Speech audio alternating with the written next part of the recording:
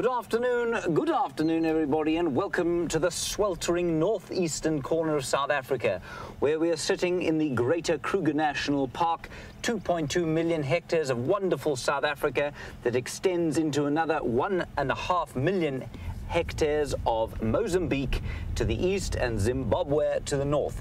We are on the western fringes of the Kruger National Park here in a little game reserve called Djuma, and to the west of us, Arathusa, we also traverse. You are on a live sunset, well, not yet, afternoon, we'll call it at the moment, sweltering afternoon sunset drive. And it is live, as I say. My name is James Hendry. I will be presenting today. Behind us, making his debut solo on camera, is David Eastbow. Correct? Eastall. Eastall. Eastall. Sorry, it's a very strange surname. I've never heard it before in my life. On the other vehicle, heading off towards the east, not the east store, is Brent Leo Smith, and he is being filmed relatively ably by Andrew Joseph, aka Anant Francis. And in the final control, we have got Nicola Austin on the vocals and Leanne making her debut on the keys. So it's good having them with us, and it's better even having you with us. Please talk to us, hashtag Safari Live. If you're on Twitter, questions at wildearth.tv if you happen to be on the email. It is, like I say, a hot day, 37 degrees centigrade, 97 degrees Fahrenheit. So not a cool, coolsome day, and we are in the midst, in case you're a new viewer, of a fairly severe drought. It is February, and the landscape should not look anything like it does in a year of average rainfall some buffalo bulls in front of us there, and they, I don't know if you've noticed, are, have been sort of infiltrated by a hippopotamus bull who is living in this very soupy water here. A water combined with a lot of buffalo dung, some algae, some hippo dung, possibly some urine of about four or five different species, no doubt the detritus of the terrapins, whose heads you can see bobbing up and down all over the water there. They're a little bit difficult to see. You might be able to catch one or two terrapin heads, and those terrapins have been climbing up onto the back of the hippopotamus, alternately sunning, sunning themselves and then nipping back down into the water to eat an invertebrate or two or perhaps even some algae. I'm not sure. I don't think they eat algae, but I've seen their mouths moving very excitedly in amongst the swathes of algae. So that's what's going on here. And then we started the show, of course, with that little herd of elephants. A beautiful herd of four elephants. One we know very well from the chopped off trunk that she has, and her three cohorts, one of which, or at least two of which are her offspring, one of which is may, maybe a sibling or a very, uh, or perhaps one of her offspring from a, I've nearly said earlier marriage, that's why I became tongue-tied, which is totally ridiculous, but maybe her earliest youngster. I think she's only about 25 years old, so it's unlikely that she's had three calves by this stage, but it is possible, of course. And thank you all very kindly for your welcomes to David. It is uh, lovely to have him with us. We'll see how he does. Feel free to ask questions about him. I shall put those through, and uh, should he feel the need to answer them, he will. Otherwise, he'll probably just do this, which means that he doesn't wish to answer that sort of a question. Southwest, uh, on the road, Pakistan. Beautiful okay. Um, some beautiful oxpeckers there, and I've heard, I hear from Michelle that it is National Hippo Day. I'm not sure in which nation it's Hippo Day. I don't know that South Africa has a Hippo Day, but perhaps it does. So, well, happy Hippo Day, Peter. There is, of course, another hippopotamus in Gallagher Pan. We'll call him George of Gallagher, and this chap can be Peter of the Pan. And uh, they are experiencing their national day. How wonderful for them. Now, this morning, Scott and I were out. We were following cat tracks all over the place. The one road that we didn't go, uh, it happened to contain the Nkuhuma Pride on a freshly killed buffalo. Unfortunately, we missed all of that, but out and about this afternoon, Brent Leo Smith, together with Andrew Joseph, aka Anand Francis, and they are with the Lions. Take a look at them now. Welcome to this evening's sunset safari, and we're sitting next to the Inkahuma Pride, all five members present and accounted for, doing what lions do best with a full belly, and that's snooze in the shade. With the occasional rolling over, there's still quite a lot left of their kill, which looks like a sub-adult buffalo. And isn't that great? It means they should be around here for a day or two, and we might be in luck that the Birmingham boys might come join them. My name is Brent Dale Smith. I have Andrew Francis on camera, and this is the Inkahuma Pride of Lions. Now, they are the lions we see the most. Uh, we didn't see them for a while, but really great to have them back. Everything sort of settled down after the ousting of the Matimba males and the Birmingham Coalition taking their place as the rulers of the northern Sabi Sands. So I'm not sure exactly when this happened, but probably early hours of this morning uh, or late last night. But they haven't fed too much on the carcass, which is actually behind us. I will try to show it to you a bit later. Andrew might be able to just give you a glimpse of where it is. They've tucked it into a bit of shade, but as the day has progressed, the sun is beating down in that area, and they all got full bellies, and there's no big males to contend with, so they're not forcing themselves to eat too quickly. Yes, you look very hot and bothered, madam. Now, this is the little sub-adult who's not so little anymore, is she? And probably closing on two and a half or three years old now. And soon to be of mating age. And I think her spot in the sun is safe now from the Birminghams. She's sort of old enough now that, that she's a potential breeding partner. And they're probably not going to kill her. You can see lots of deep panting as they try to expel some of the heat caused by digestion. It's also an extremely hot day out here in the Lowveld. And these lions will be chuffed that they've got meat and they don't have to move too much. We're going to spend some time here. Hopefully they do start feeding. And I can't see that happening in the next five minutes. While we sit with these sleeping lions. I've got a nice little African folklore about lions for everyone. It's how lion got its roar. It's a Batoka story. Oh, there we go, nice yawn. And as with most African folklores, when anything mischievous is done, is done by the scrub hare. Oh, bless you. Look at that belly. You can see it flowing. So it said after creation, all animals only used to eat trees and plants, including lions. And only after man, who was the last animal created, did the other animals start feeding on meat. And the other animals copied man and emulated them.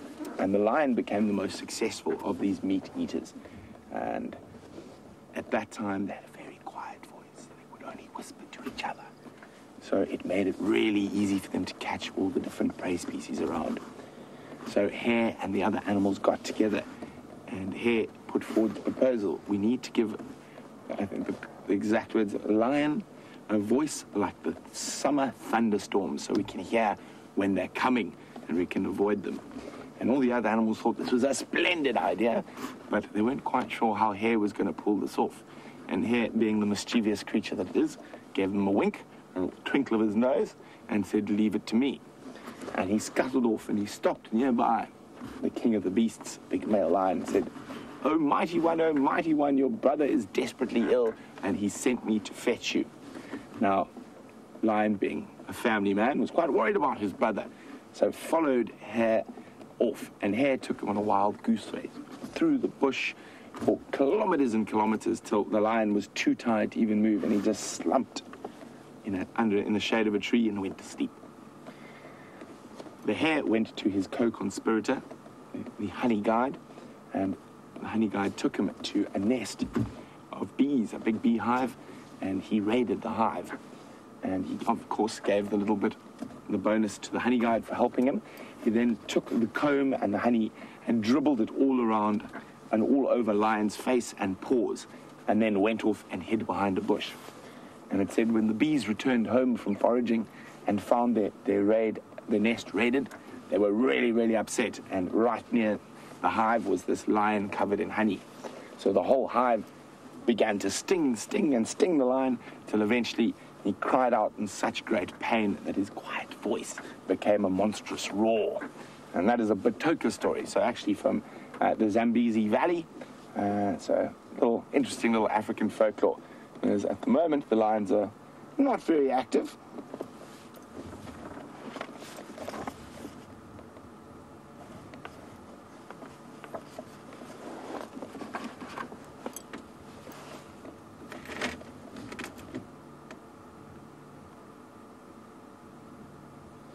While we stand by, hopefully these lions are going to move their way to the carcass or hopefully even pull their carcass into the shade where they are now.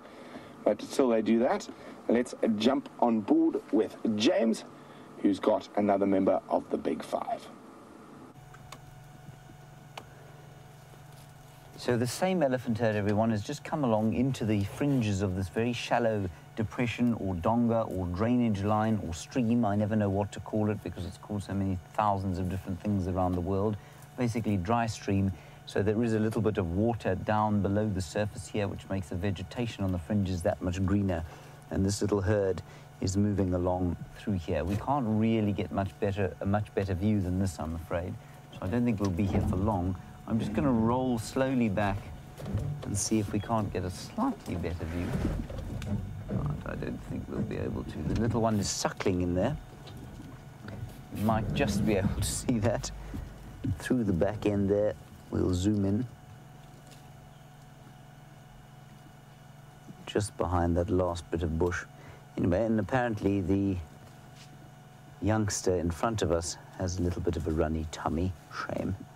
There's the little one, enjoying the shade provided by its mother, and of course the green vegetation of this drainage line. So for those of you who are perhaps new viewers, while we're watching this elephant selectively choosing the bits and pieces of the tree that he wants to eat, a drainage line is another word for a dry stream.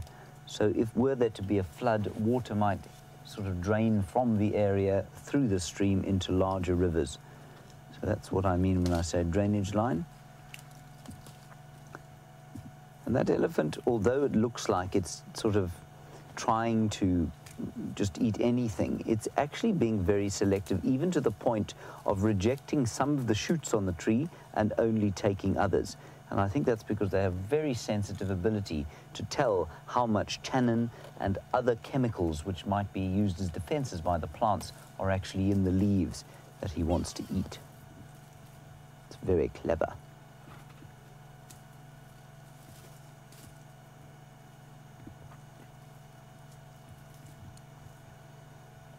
Lovely flapping ears there. And this is an important thing that elephants do in heat like this. They flap their ears, the blood gets pumped, all of the blood in the body will go through their ears in 20 minutes. And what that flapping does is cool it and straight from those big veins that you can see in the back of the ears so that blood goes to the brain. And of course, if you can keep your brain cool, you can survive hot temperatures. If your brain starts to boil, well, then eventually everything, all of your systems are going to shut down. And that's why most animals will concentrate on keeping their brains cool. Now, Peter NG on Twitter, you want to know how many different species of animal there are in this reserve. Peter NG, that's not an easy one to answer, believe it or not. And how do we keep track? Well, good question. Peter, um, are we're talking about that, remember an animal is anything that belongs to the animal kingdom. So it might be an insect, it might be an arachnid, it might be a mollusk or a millipede or a centipede. It could be a mammal, it could be an amphibian, a reptile, a bird, or even a fish. Anyway, I think what you probably mean is mammal, I'm going to guess. We know that there are probably about 300 or so bird species that could possibly be seen here. Mammals, I've actually never counted them, and I'll tell you why. It's because, I mean, we've got nine antelope species, we've probably got four cat species, two dog species, uh, five mongoose species, mm, two viverrid species. Uh, I hope you're counting, Peter. It's very important that you count all of these now. Uh, so two viverrid species, one mustelid, which is the honey badger, and then, of course, we've got things like bats. I have no idea how many bat species we get here. I don't think anyone knows how many bat species we get here. Some of the bats are so difficult to tell apart, you can only tell them apart by opening their mouths and counting the ridges on the underside of their palates. I personally don't wish to get that close to a bat, but you do get odd people, um, normally who sort of smell slightly odd, who come about the place with their slightly dirty clothes and dirty fingernails, and they will come and count bats and check out what they look like. Anyway, those sorts of people are very important, but they haven't been through here now. So it's difficult to say exactly how many mammals we have here. Um, one elephant, of course, we've also got buffalo. So, Peter, I hope you've counted all those. I'm going to try and do it in my head as we drive along, and I'll give you a relatively accurate-ish count of the number of mammals that we get here. Thank you for your question. Please keep talking to us. I cannot sit at that angle anymore because we're parked on a very steep slope. Hold on, David.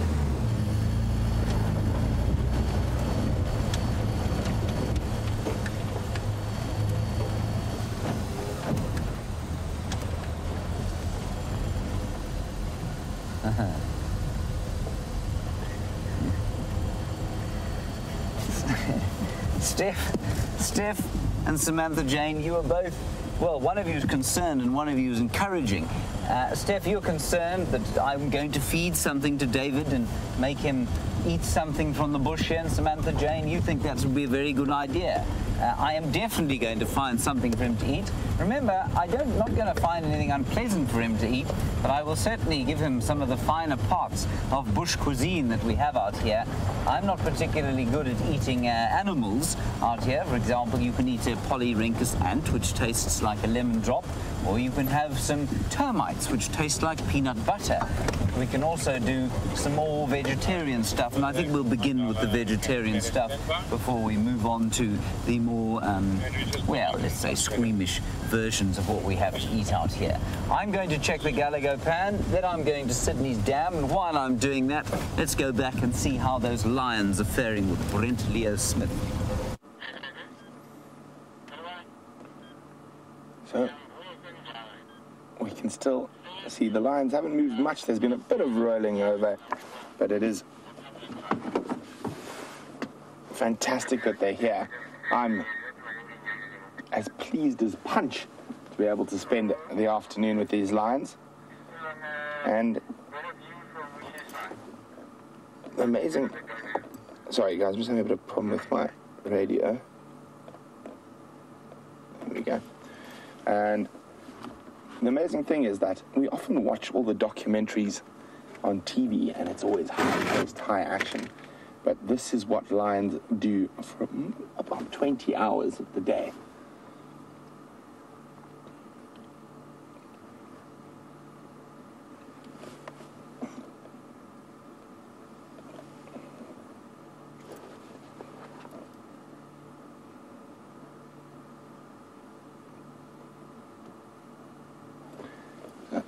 John on email is wondering why their mouths are open like that. Is it helping them cool off faster? It is, uh, John. So uh, lions aren't able to sweat, so they have quite a big problem with getting rid of heat, and uh, they've got lots of blood vessels and in their mouth and in their tongue particularly, and being able to draw air over that cools the blood and helps them to cool down. And particularly now that they've got very full bellies, they have even more trouble dispelling heat because uh, digestion, the pro- digestive process actually causes heat. So when they've got full bellies, they are less active than normal. But we have, oh, there we go. Is she going to roll over again? And when we popped up, when we arrived here, the sun was a little bit higher up, and we parked in here, and we were started off in the in the sun here, but as it's cooled down, the lions have actually moved closer to us and they're coming creeping into our shade. But it wasn't shade when we arrived.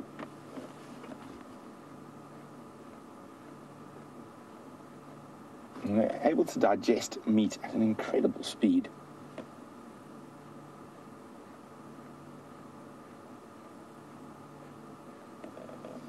here, uh, you can see one of the older Nkuma lionesses. She's got a broken right canine there.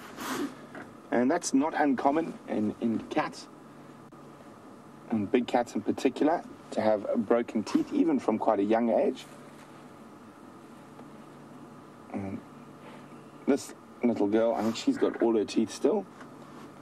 And that lovely light just filtering through the trees onto the side of her face. Look at the lioness who's furthest away. See if we can see if she's got any broken teeth. Her mouth's open. Oh, she is behind a bush for you. Oh dear. Uh, well, we'll have a look a little bit later when she gets closer. So a lot of you, I know a lot of you, your favorite lioness is the amber-eyed lioness, and that's the lioness lying there on the left.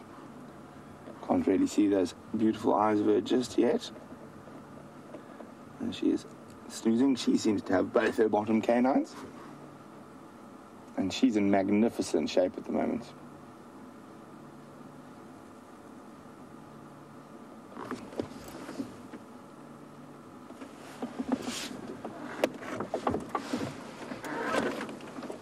So Debbie in North Carolina, oh, look at that back feet of that lioness there. You see those perfectly formed pads with the three lobes. Debbie, I'll be back to you in a second.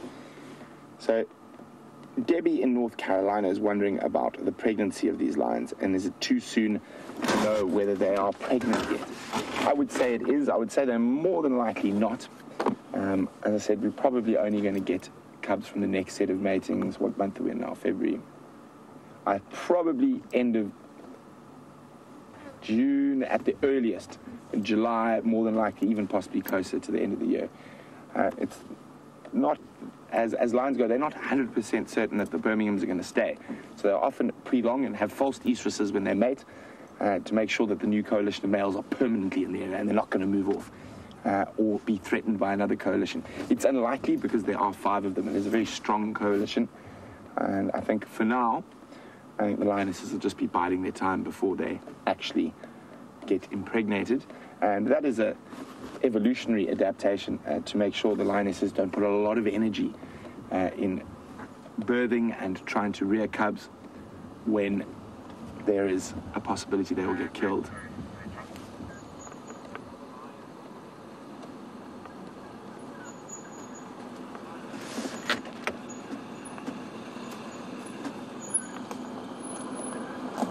We stay with the lions, let's go have a look at what James has got. Well, those kitties are not going everywhere, anywhere, everyone, and I know that they are a major source of fascination for many people, but they're not going anywhere. So let's just keep an eye out for other interesting things like this. We had came across this female who was calling. She was going bleh, bleh, bleh, bleh. and then we heard meow, meow, meow from the other side. In fact, there's lots of calling going on in this little herd, and you can see that the little youngster is still trying to suckle. Now, not far away from weaning, I wouldn't imagine. Remember, they are now mm, just over two months old. By three months, they'll be fully weaned, and you can see the little horns starting to come up on that little male. And so I'm very sure, yes, as Nikki just said, it looks painful. It does. Quite apart from the fact that her nipples look like they're going to be tugged clean off the, her belly, that little ram has got little horns now, and that cannot be comfortable having them spiking into the underside of your belly.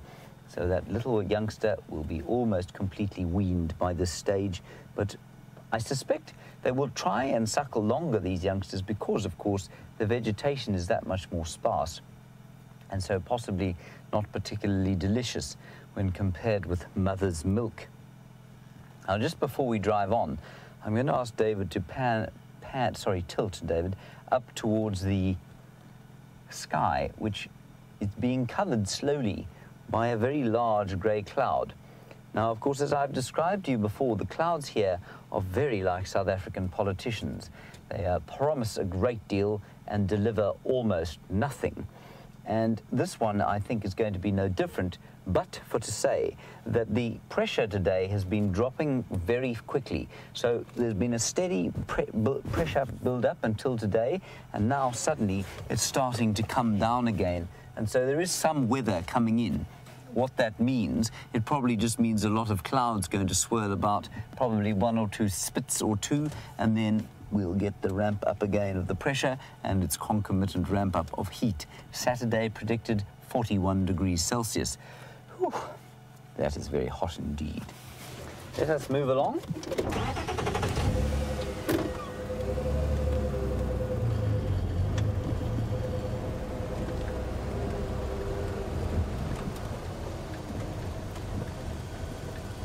I'm just going to stop here and let's just have a look at this Impala ewe. It's a beautiful colour coming through this little woodland here. And while we're doing that, Alison, you're 11 years old and you live in North Carolina. I'd love to know which part of North Carolina you live in because I have been to North Carolina. There are two places there. And you want to know if the drought is going to affect the elephants. Definitely.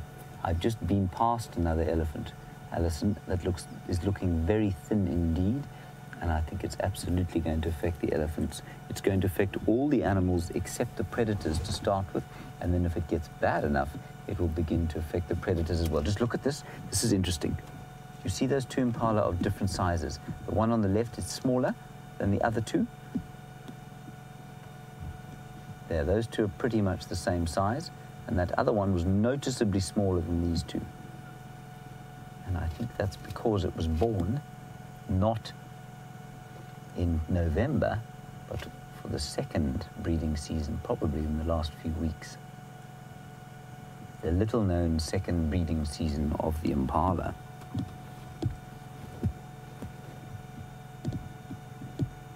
Greeting each other. Now, Heidi, you're also in North Carolina. I'm being inundated with from North Carolina this afternoon you want to know if the drought benefits any species. Well, yes, it does. It benefits the predators for now because the antelope and their prey species, the herbivores, become weaker, so it becomes easier for them to be caught. Also, the vegetation becomes sparser, so it becomes like a winter landscape, which is favored by the predators because it's easier for them to see what they're going to catch, especially coursing predators like um, wild dogs or cheetah. They love it when it's a bit clearer and they really enjoy the winter time. That said, past a certain tipping point, when animals start to die, then it's going to become more and more difficult for the predators because they too will then struggle to find sufficient meat to eat, which is going to be a problem. We're a long way from that point yet, but a hot day like today with a hot wind blowing out of the north is really going to dry things out. And you can see the little ones there just picking off the last pieces of the ziziphus tree the buffalo thorn, and that is, of course, going to be David's first bush meal, but not that particular tree. I'll find him a slightly greener example.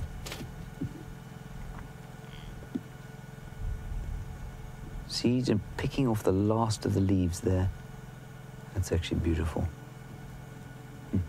And this tree, of course, was pushed over by elephants. And while we consider that tremendously destructive, look at how the elephants are feeding those impala.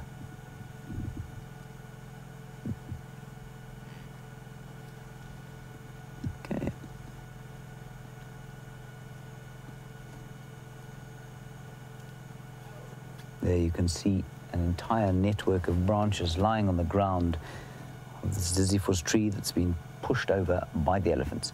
Right, on that note, let's head across to Brent Leo Smith, see what's happening with his lions. I suspect quite strongly, would put money on it, that they are lying about doing nothing. Uh, James is spot on. The lions have not moved an inch we were last here. Okay, we give them another 20 minutes or so before we move on, see what else we can find. We'll always come back once it's a bit cooler and hopefully they might start feeding.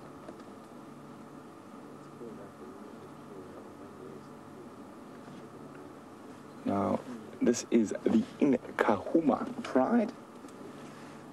And Nkuhuma is the Shangaan name for brown, a brown ivory tree. And the first time they were ever seen was in the shade of a brown ivory tree. They're not in the shade of a brown ivory tree today, but in the shade of a bush willow and a weeping wattle.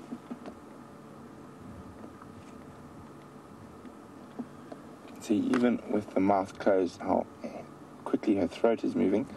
You'll quite often find that all of a sudden the mouth will open when she gets a bit hot. There's a nice breeze coming in from the north that'll keep them a little bit cooler. And that fat little belly.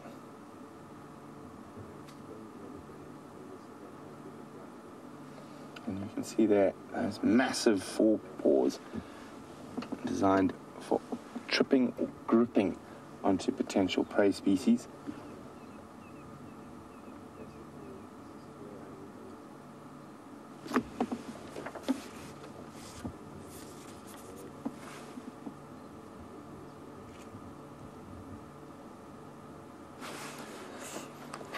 Hello, Alison, who's 11 years old and in North Carolina. Uh, Alison would like to know how long do lions live in the wild? Well, Alison, uh, in the wild, in, this, in an area like this where there's a lot of other predators and there's lots of other lions, uh, a lioness generally won't live much beyond sort of mm, 14, 15. Occasionally they can live older, but that's a good average age, sort of 12 to, to 15. Males, 12 is about as old as they get in the wild. In captivity, they can live up to 25 years, but the competition for space and breeding with lions is very, very intense. Uh, this area has got one of the highest lion densities in Africa from here through to the Eastern Kruger National Park. Uh, we get really big prides and lots of lions. So there's a lot of movement. So there's often coalitions of males that have now left their natal pride. And we saw that with the Matimbas. I think the Matimbas are 12 now. Andrew, do you know how old the Matimbas are? 12. Yeah. So 12 years old, they've managed to cut themselves a little niche down in the south. But uh, if there are any young males moving in, the Matimbas will be in just as much trouble as they were with the Birminghams coming through. So male lions, 12 is a good age for a male lion. He's had a good long life. In a lot of places, they don't even normally get to that age, just depending on the competition with other males and, and what's happening with the lion dynamics in the area. Know, watching Andrew intently, not really, sleeping more intently. There we go. The fifth lioness lying up a little bit further away from the others.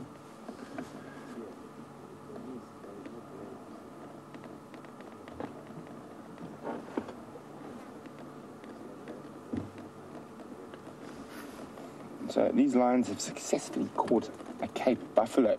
And Peter's wondering, is it mostly true that lions hunt at night? Yes, it is, Peter. Um, they hunt when it's cool, and obviously in the dark they've got a better chance. Their camouflage works better. The diurnal animals' eyesight at night is not as good as during the day, but they mostly hunt during the dark. And but one must remember that they are complete opportunists.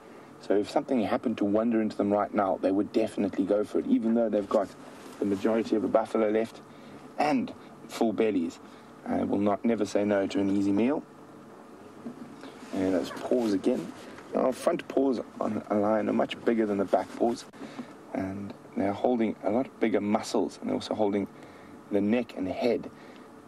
So you'll notice with a lot of the cats and the big cats, their front paws are much bigger than their back paws.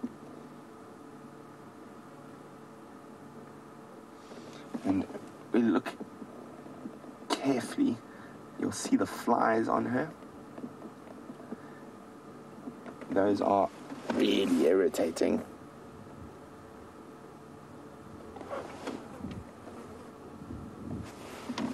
And those are mostly stable flies. Uh, they look very similar to a housefly, but they pack quite a nasty little bite. And they are vampire-like flies, and they're busy feeding off the blood. And you often find them congregating around a lion's ears, uh, tail, even their face.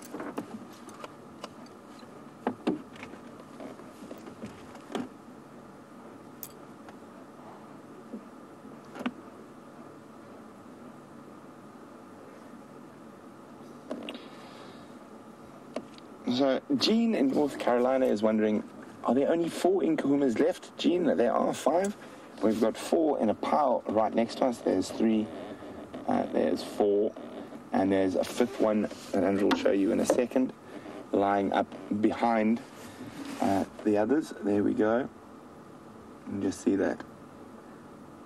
The paw resting on a little round leaf teak. Jean all five Nkuhumas present and accounted for. Now, what happens when we sit in quiet sightings like this, especially because of the drought, sometimes we are also feasted upon by the stable flies.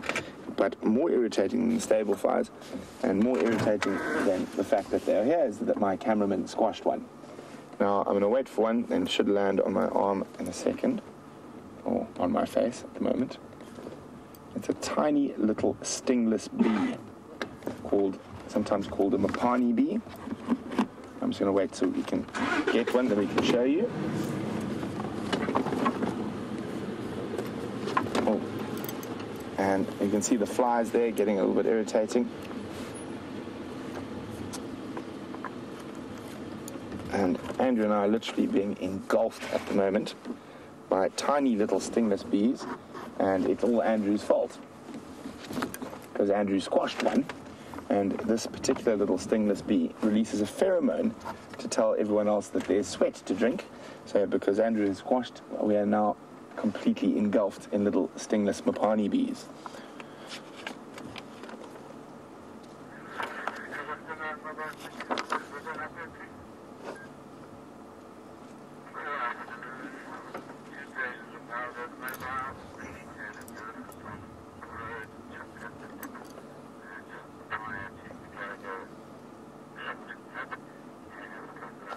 So a very warm and hot, actually, welcome to Marlo Hardy, um, who is wondering when lions give birth, do they have a den? Do the rest of the pride stay close by to help defend the cubs? They don't. So they do have a den, but the rest of the pride don't stay close by. What will happen is a female will sequester herself off away from the rest of the pride, and she will have a den in a very similar area to where leopards like to den, a little cave, a rocky outcrop, thickets in a, in a riverine area, and she will give birth to the cubs in there, and she will not take them to the, the rest of the pride for sometimes up to a month, even two months sometimes. So what happens is the others might just they'll be a little bit rough when they play with it, and in certain circumstances, if they're very young, the other lions might eat them. So no, we'll keep them away from the rest of the pride till they're old enough to be able to deal with sort of some of the rough and tumble that happens within a pride.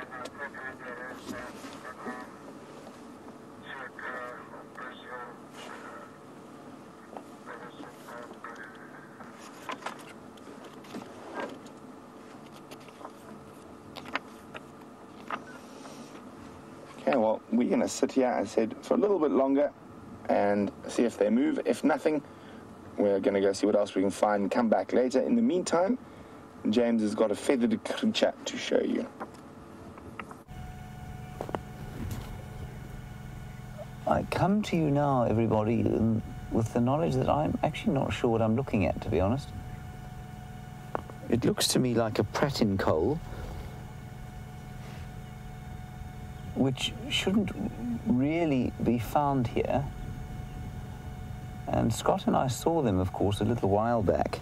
In fact, uh, that's why it's confusing. The one on the right is a juvenile. The one on the left is an adult. The now on the right is an adult. So that one moving is the juvenile. That one on the right is an adult. And they are called red-winged pratincoles. Red-winged pratincoles. I don't know why they're called red-winged pratincoles, given that they don't seem to have red wings, and they've got red on the underside. Now, what is interesting about these birds is that they are very uncommon in this area. I've been in this area for 10 years now, or more than, and the first time I saw them was with Scott the other day. We were on Biffle's Hook at one of the big dams there, and we both saw these things flying about, and we thought, well, what on earth are those? And that's what we came to, red-winged pratincoles, and now they're knocking about here in the clearings. Yes, now that, that one there, of course, is, is coursing after something. And pratincoles, as far as I understand it, I thought they caught things, yeah, they feed mostly in the air in flocks, but they can obviously run along the ground. Hmm. They're related to the coursers, you see. Yes, and sorry, as Scott is, Scott is sitting in the final control, correcting my ecology here. They're no longer called red-winged pratincoles. Thank you, Scott. I'm not pouring you a drink tonight. They're now called collared pratincoles. Anyway, they're related to the coursers, and what they're doing now is actually behaving exactly like coursers. Now, to course, of course, is just like a cheetah. There's one right in front of us, David, if that's easier. I don't know, but otherwise stay with the one you're on. They, to course after something means to run after it on the ground and catch it on the ground like a greyhound, basically. And they are, these coals are renowned for catching things in the air, but clearly they're related to the coursers. Bronze-winged is the courser that we get here and they're very adept at running along the ground. And what helps them to do that, of course, is that they lack a hind toe. So they've only got the three toes in front, and they've just got a sort of vestigial spike out the back. And that's very effective if you want to be running along the ground. The beak is not open because it's smiling, of course. The beak is open because it is sweating, panting. This is a fantastic, fantastic sighting. Never had them flying, sitting this close. I've never had them on the ground. Last time I saw them, they were just flying around at 100 miles an hour. This is fantastic.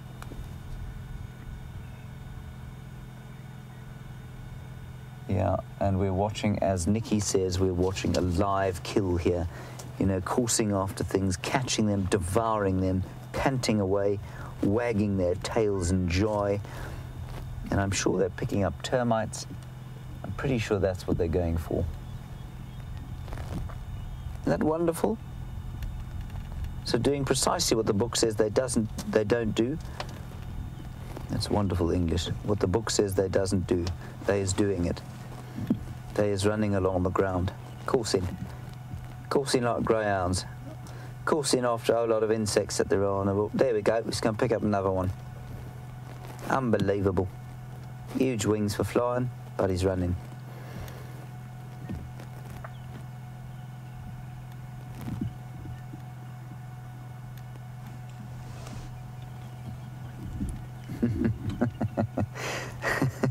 and Charlie on Twitter, I do apologize. You say that my North Carolina accent leaves something to be desired. I'm sorry about that. It's been a while since I saw my friends from North Carolina. I have a sort of um, I have a sort of amalgamated blanket, very bad southern accent that I use for everything in the South. So um, from Texas to South Carolina, North Carolina, um, Georgia. Sorry about that. I apologize profusely. Right, so that is the collared pratincole, and the collared pratincole is not alone here on the uh, clearing. There are some warthogs just over there. I'm just going to try and find my radio and turn it down. Look at that. Now, we've seen these warties here just about every day over the last little while. We come past here. Sydney's Dam is not too far from here, and the warties are making good use of the last of the vegetation on this clearing. Now, this clearing has got, is, the soil is white in colour, mainly because it is quite sodic. Now, what that means is that there's quite a lot of sodium in the soil, quite a lot of salt. That in turn makes the grasses a lot more nutritious, which in turn attracts things that likes to eat nutritious grasses. I've just done it again. Now, really, I'm speaking like I'm from the East End this afternoon, which of course is attracting things that likes to eat it. Sorry about that. I will attempt to better my language as the afternoon goes on. I think it's the heat. My brain's probably boiling.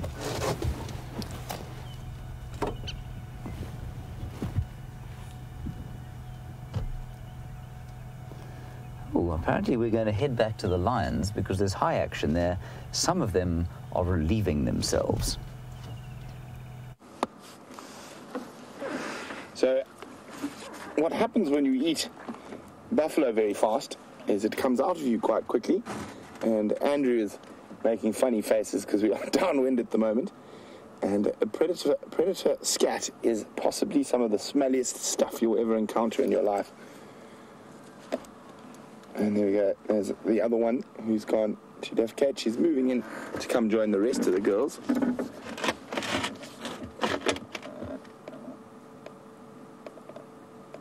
And the pride is looking particularly well at the moment. All of them in really good health and the predators are the animals that benefit most during a time of drought, lions in particular.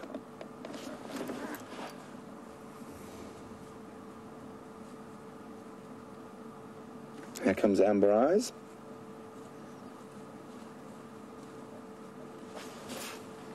Hello.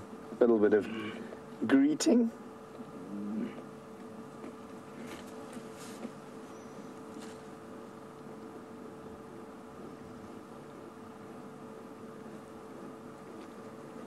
Well, Mr. Tuvok is wondering why Amber Eyes has got amber eyes. Well, Amber Eyes has put her head flat down. Uh, it's the same as uh, with people. Why do I have green eyes and other people have blue eyes? It's a, it's a, it'll be a genetic thing, and, and the eyes work the same. She's just got slightly different coloration in her eyes. Uh, it's not unusual, uh, but it isn't that common. As you can see, we've got all the other lionesses have those beautiful golden eyes, and old Amber's got a slight red, reddish tinge to hers.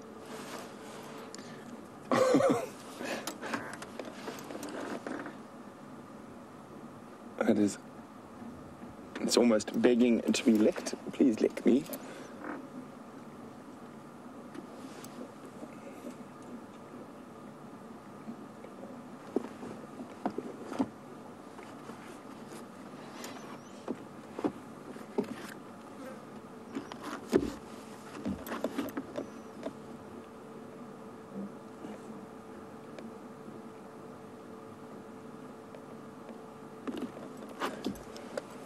Well, Carla, Tony, Sean, and Tim, the whole team are watching in Holland, uh, would like to know if a lioness lives to about 14, how many litters of cubs can she have in her lifetime?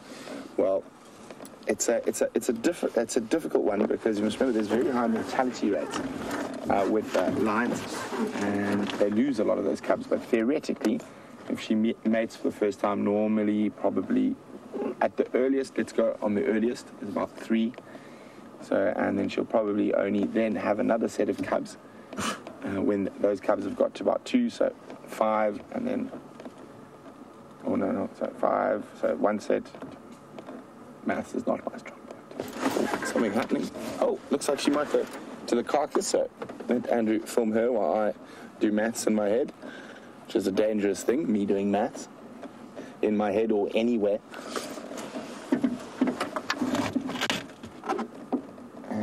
She's literally just passed underneath Andrew. He had to keep dead still while she was that close to him. There we go. You can see the buffalo carcass there.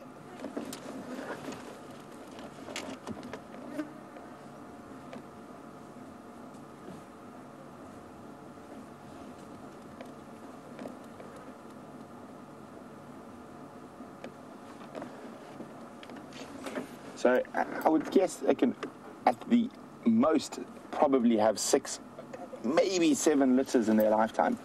Uh, out of those that probably are successful, reach adult, adulthood, and you probably say only one or two litters out of out of that six or seven where all will be successfully raised.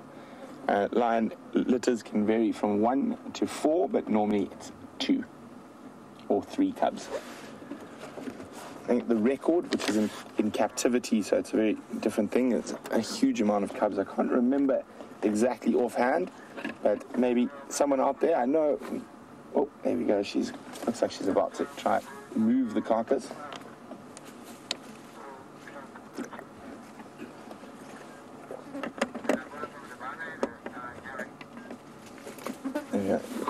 Trying to pull it through the the gap.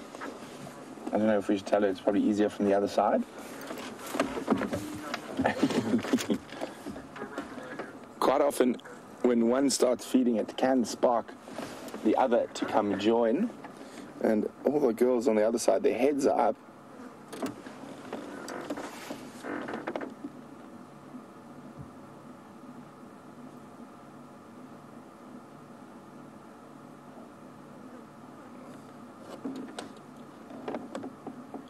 So, hello to Kiki, who's nine years old and lives in Ohio. Kiki would like to know how much bigger are the male lions.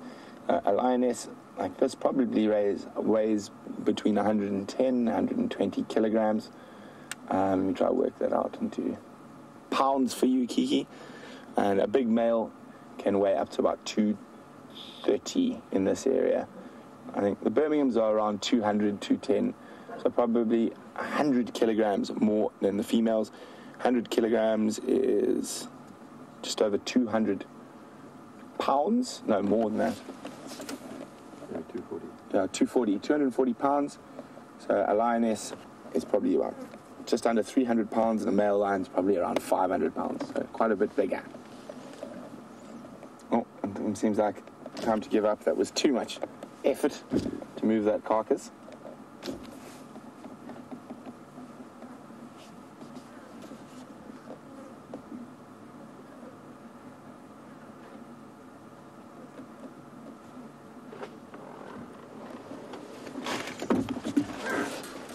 So Darlene in New Hampshire is wondering, apart from protection, what does a male lion have to do with the cubs? Does he show them any affection? Does he teach them how to hunt? I thought Andrew saw somebody moving behind me. Um, well, Darlene, they do actually sometimes show great affection with the cubs and will play with them. And also on a carcass, while they keep the lionesses away, they will often let the cubs feed with them. So they do show affection towards the cubs.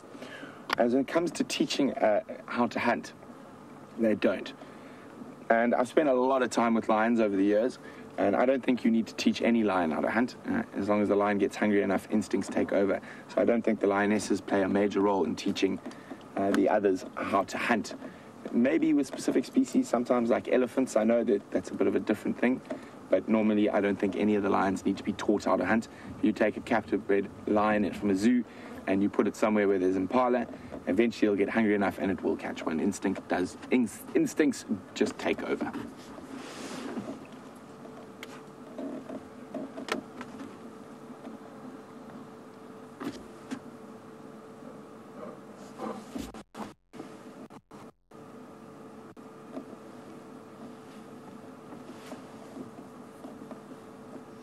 Well, a nice hot welcome to Peter NG. Uh, welcome to Safari Live, Peter. And Peter's wondering, how far do lions travel?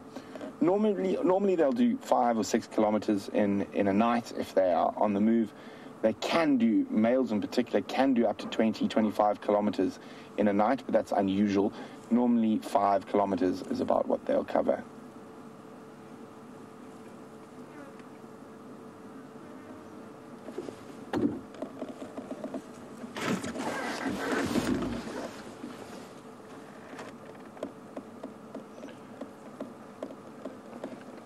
So we're gonna leave these lines for a little bit. Oh, what's she up to? Looks like, well, we're just gonna hang on for a second. Looks like she's gonna come pull the carcass from the other side. There we go. That's much better. Took you a while, madam. Now you can see the raw power as she's going to pull it away, hopefully, the next little while. I'm just going to hang around with her. She does look like she wants to move it into a position where she's going to be able to feed.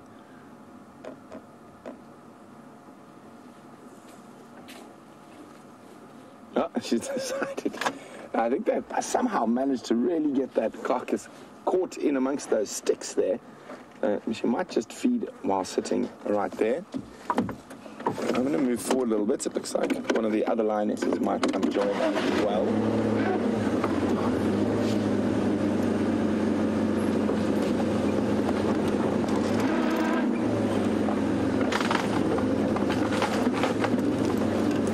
How's that, Andrew?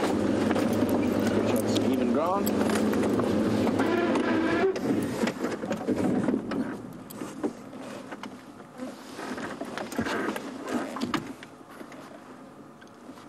Serious about eating. She's still got a full belly. But now that the sun has gone behind that large cloud blanket, it's a bit cooler.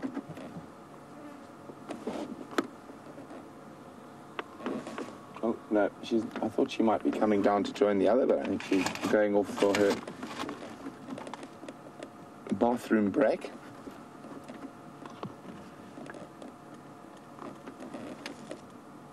So, James has got one of the cutest little creatures to show you. We're going to stay with these lions a bit longer now. uh, to see what happens here.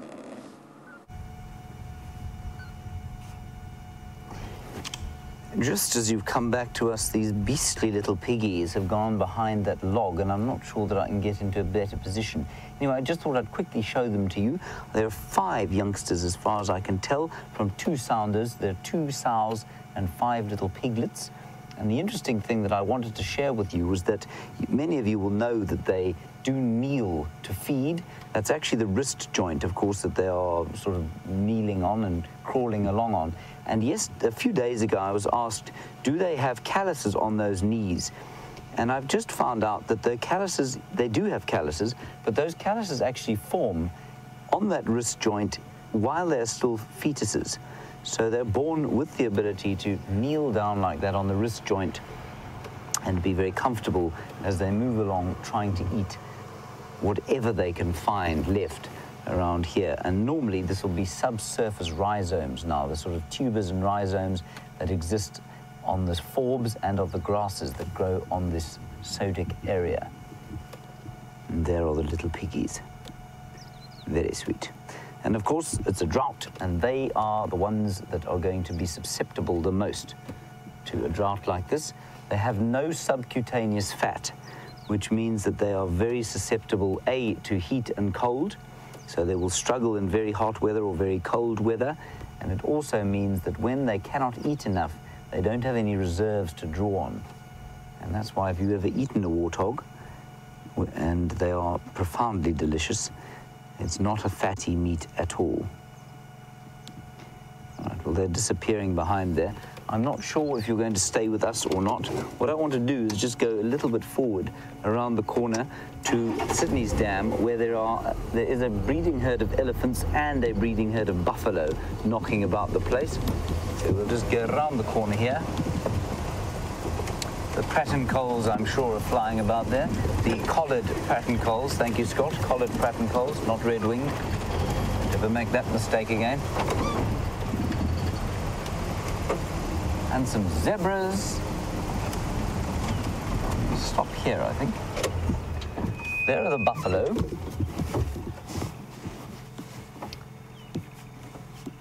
Oh.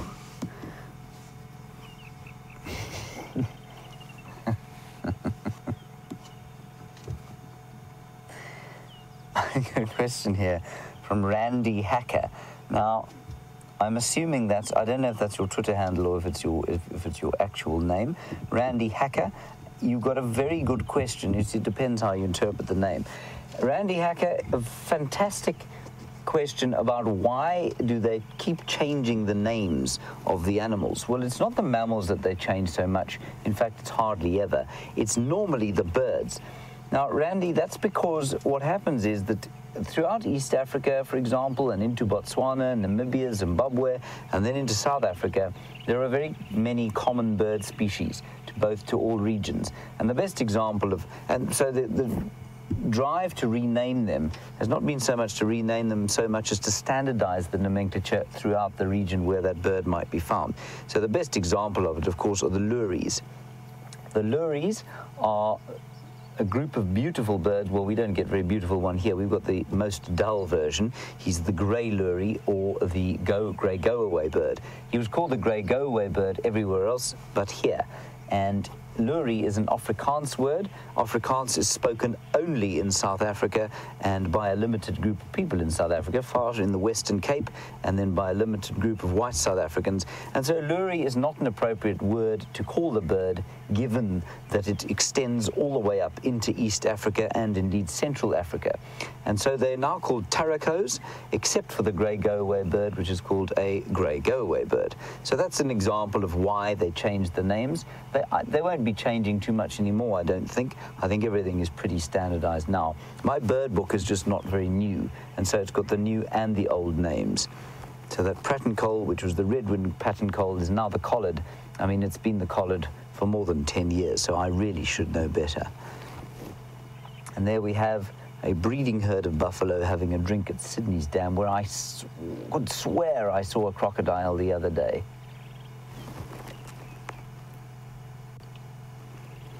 But my crocodile call was called a hippo by another's. And Nicola says she can see catfish flapping about in the background. That's very impressive, Nicola. She says they're flapping about every so often.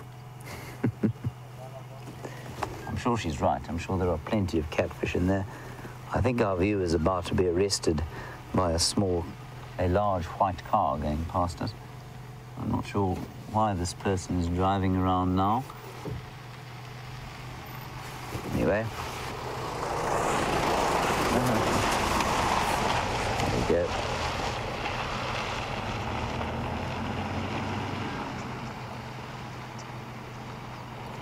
So large herd of buffalo, probably about 150 to 200 strong. Some of them have gone, had their drink and moved off already.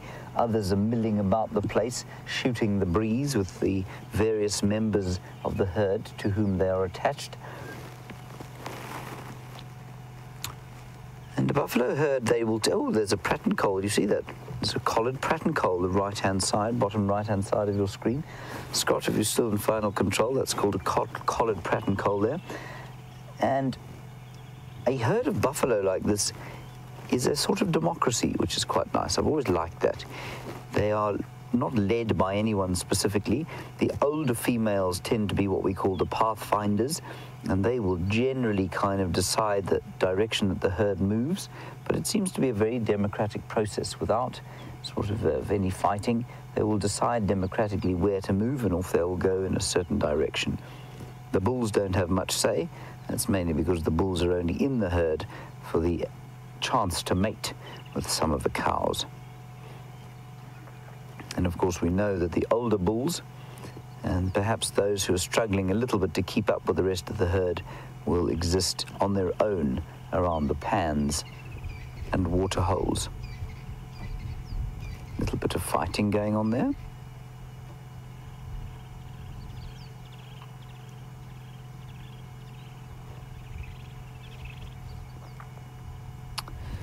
Very nice question here from Alison.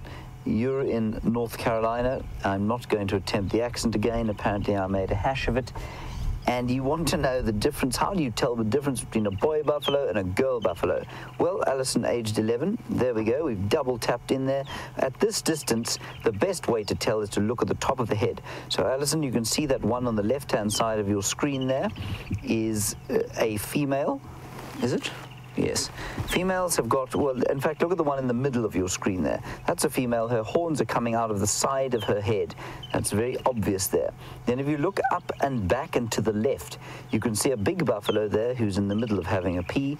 And you can see on the top of his head is a great big helmet from which his horns come. And that's how you know that's a bull. I mean, you can just look underneath their stomachs, of course, and that will tell you immediately. But at this distance, the easiest thing to do is to check the size of the horns and whether they have that helmet on top of the head, which is called a boss. On that note, let's head back to Brent Leo Smith and the Lions, see what's going on there. Hopefully, they finished their afternoon toilet and are on to tea. See you just now. So we can see now she's managed to get that buffalo out from wrapped inside those tree stumps. And she actually doesn't look that hungry. She's more just playing with the carcass at the moment. It's quite entertaining. Look at this. Just dragging it around. she nearly got a horn in the head from an expired buffalo. And buffalo normally horn lions when they're alive.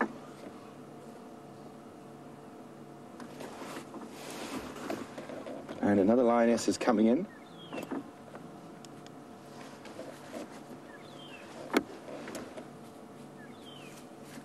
And it's amazing how a bit of movement, even though they are so full, will prompt the other to come and join. You can see not that, not that hungry, more just almost playing with the carcass. Very contented. Now it's a bit cooler. And I think the arrival of another lioness might prompt a bit of feeding. Nothing like a bit of competition.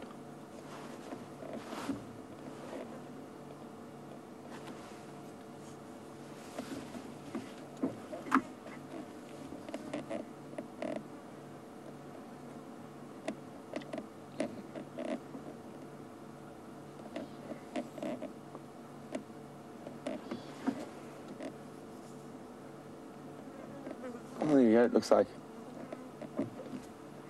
one on the right is going to start feeding again after much movement of the carcass.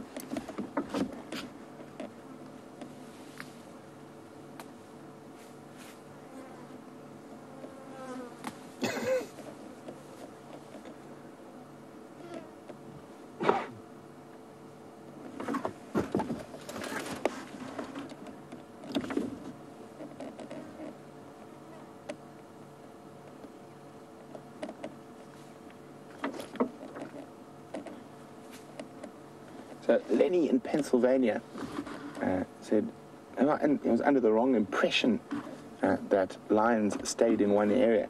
Well, they have a, a territory or home range and they move through, can be quite a vast area depending on the size of the pride. And then he's also wondering is when the lionesses have cubs, how do they find the lions to introduce them uh, to the rest of the pride?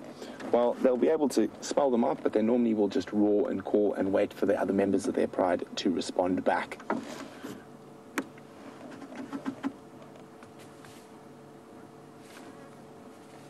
There's a miniature tug of war going on here.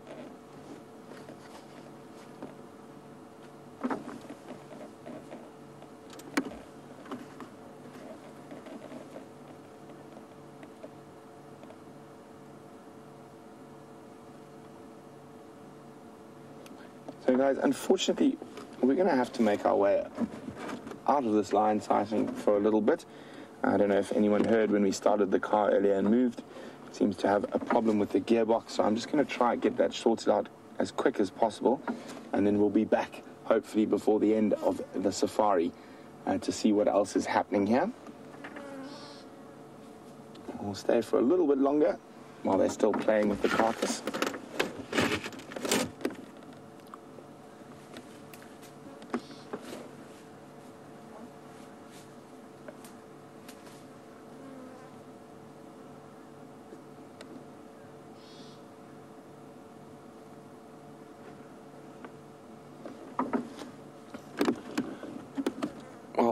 Hilma, who's in the Netherlands. She said she's a long-time viewer and really appreciate, appreciates everything we do out in the heat. Hilma, I'll get to your question in a second while, while these lions are being playful with the carcass. Let's just watch for a little bit.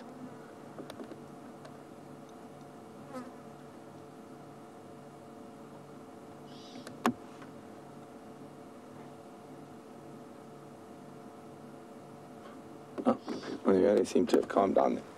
Hilma um, is wondering if there are any animals out here, or any animals I can think of that sweat outside of human beings.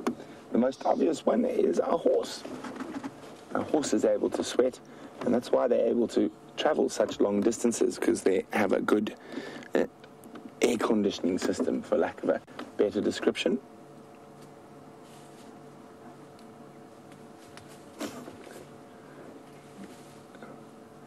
A new definition of playing with your food.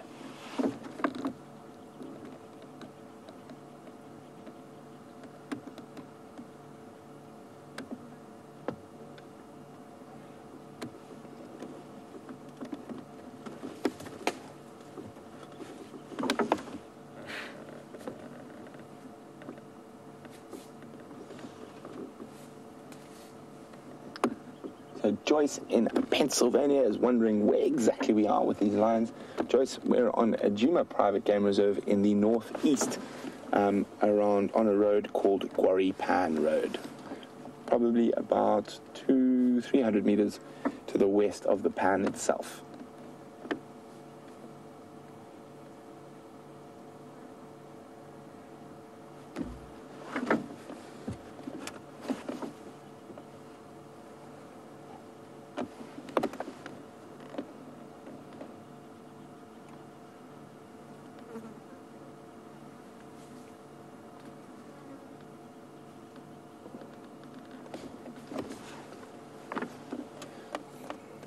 So hello to Maggie in Western Australia, and Maggie is saying, if I'm seeing correctly, the lions have round pupil pupils, not. Oh, there we go. It's mine. Maggie, I'll be back with you in a second, but just while they're growling at each other, we might see a bit of action.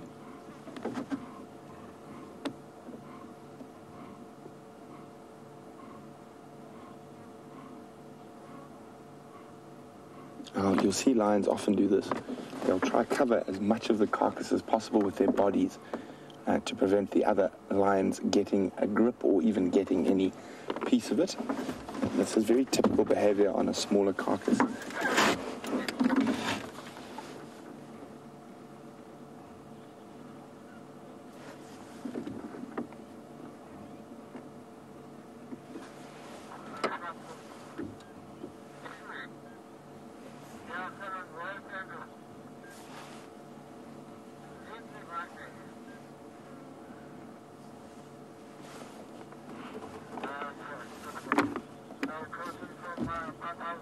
Jared, I'll get to you in a second. Um, I'm just going to finish Maggie's question.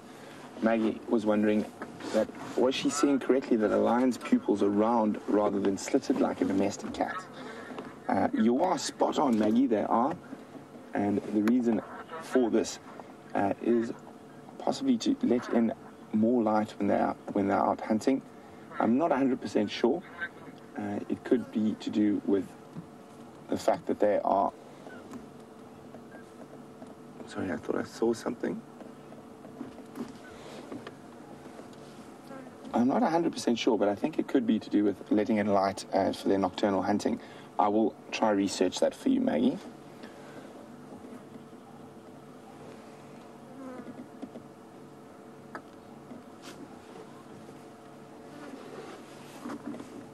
So we've got. Oh, where's it gone? Um, because of the, the dampness of my wet kikoi, there's an African joker butterfly that keeps trying to land on it. There's probably no other moisture in this area, so it's being enticed in by my kikoi. Disappeared now. We'll have a look where it comes back.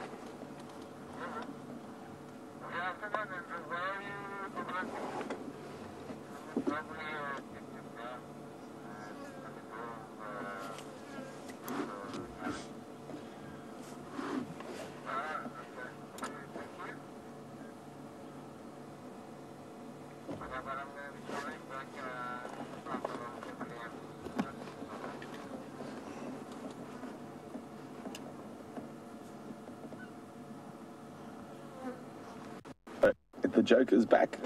There, there we go. The, African joker butterfly keeps fluttering around. I actually landed on my knee for a second.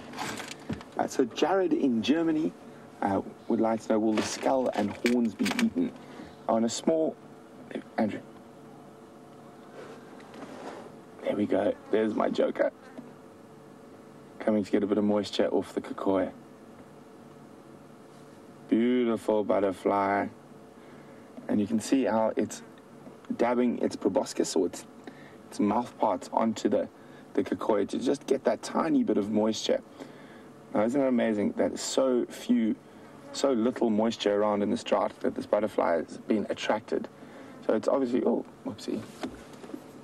You flutter, flutter, flutter by. I love butterflies. Oh. Uh, sorry, Jared in, in Germany was wondering with a, a lion's. Oh, Andrew. It's really nice. We just want to see, it was facing away from you. Now you can see those beautiful orange colors. Amazing little butterflies. I do have a soft spot for all butterflies. Oof, and finished drinking. But Jared, uh, on a small buffalo like this, the lions might be able, might be strong enough to crush open the skull and get to the brain but on a big buffalo bull, they're not able to. Uh, the horns are eaten, but not by lions. They are eaten by a type of fish moth, and they, their larval stage will actually eat the horns. It's one of the only animals out here that's able to digest keratin, which is hair, and that's what horns are made of. But uh, with the and with a big buffalo bull with that huge, hard skull, there are very specific types of carrion beetles um, that are almost exclusively eat sort of the brain contents of animals like buffalo after a kill. So everything will get eaten. The skull itself, over time, will be broken down. Uh, creatures like porcupines will gnaw it uh, for extra calcium. Yeah, they're still just growling at each other while lying on top of the buffalo. They haven't moved at all. And it's because they're not so hungry. If they were actually hungry, there'd probably be a bit more of a Barney over what's left there.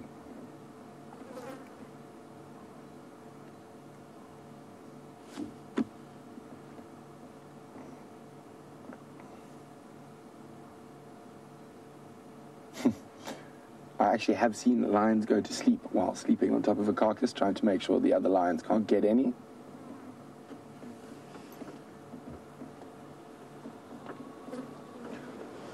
So while we are going to make our way back to try get this gearbox fixed, uh, let's go across to James, who's got a very big surprise for you.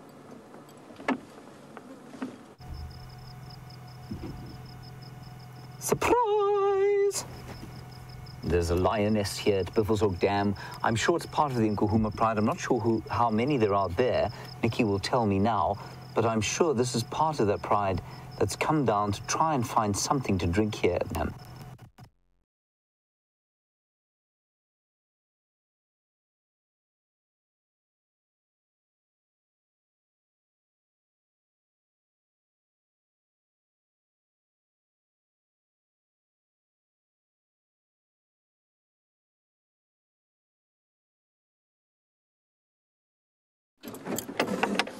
So it looks like one of the lionesses from the Nkuhumas has gone in search of water and has made its way towards Buffelshoek waterhole where it's not going to find any water. It's going to find dry, cracked clay. And look, oh, she almost looked like she might start feeding. There might be another little explosion shortly.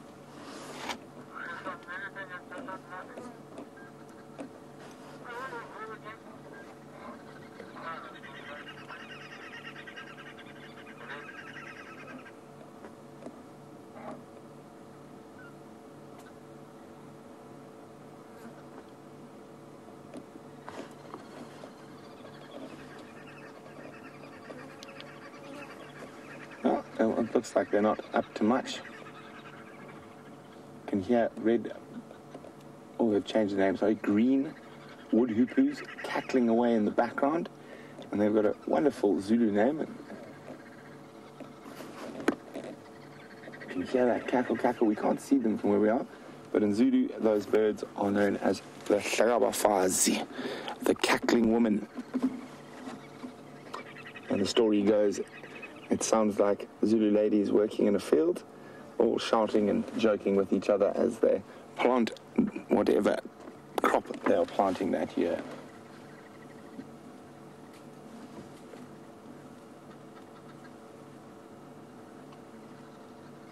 As they're going to, it's almost a stalemate now.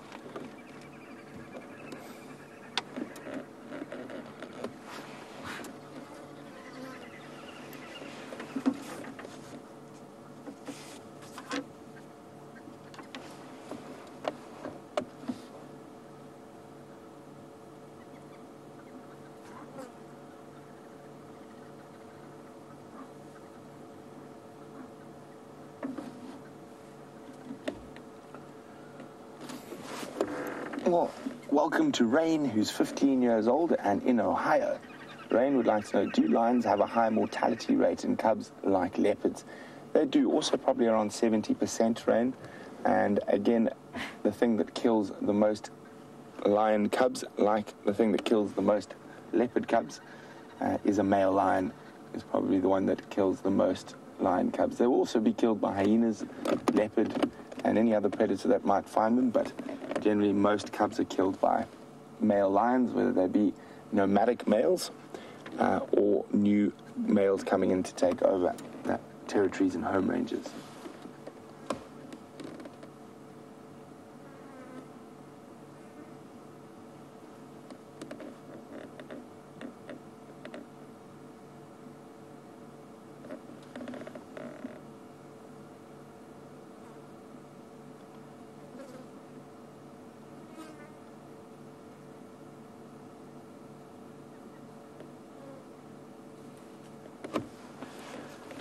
So, Leo Tony in London is wondering if we've ever been stranded next to lions with a broken gearbox or broken vehicle. Um, trying to think. Andrew? Not, I've, def- I've been stranded next to lions, but not since I've been here. We've had to help people. Yes, we've had to help people who've been stranded next to lions. Um, I've had to tow a certain Arathusa guide out a couple of times, um, and that was stranded next to lions. And I'm, last time I was stranded next to lions was probably in Zambia. And that was because I was stuck in the mud next to lions, which does prove to be quite an entertaining thing while you're trying to dig yourself out or jack the car up to put some sticks underneath and the lions are growling at you. They were on an elephant carcass. What about when we broke down and could hear the leopard right next to us and Ah. walked around the back? Well, we, Andrew and I broke down in in Rusty when it was giving lots of problems. Uh, when we were stuck in the bottom of a little river system, the leopard was calling five meters away from us, and we had hyenas running around us, and we couldn't move, and we had to wait for someone to come fetch us and pull us out. There you go, the feeding has started now.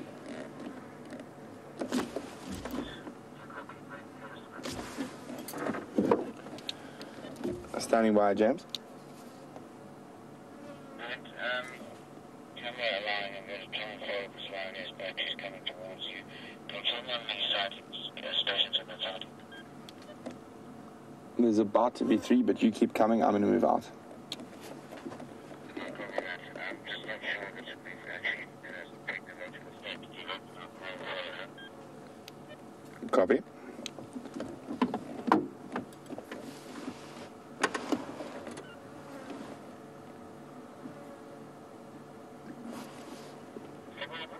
So we're going to leave the lines now.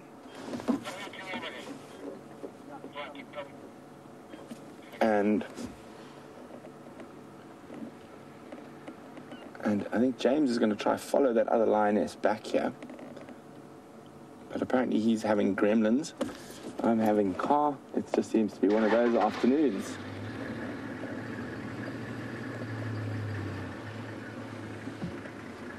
That is one of the joys of being live out in the African bush.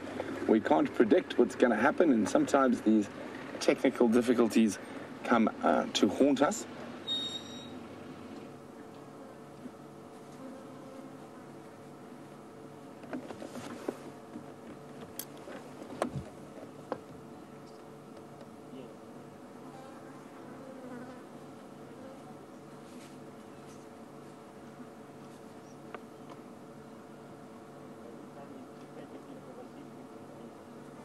So no real feeding taking place, more posturing around the kill by these two lionesses.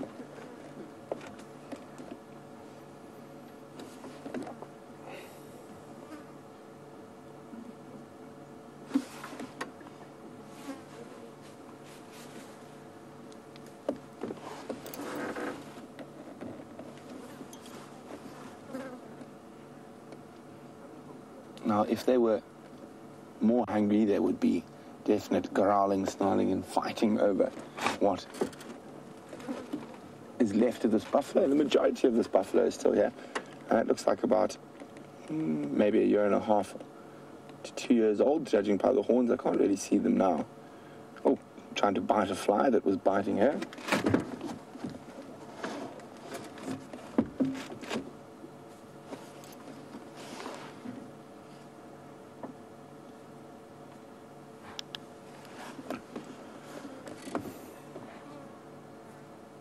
So we see those massive canines on a lion, and Alice in Ohio is wondering how long are those canines?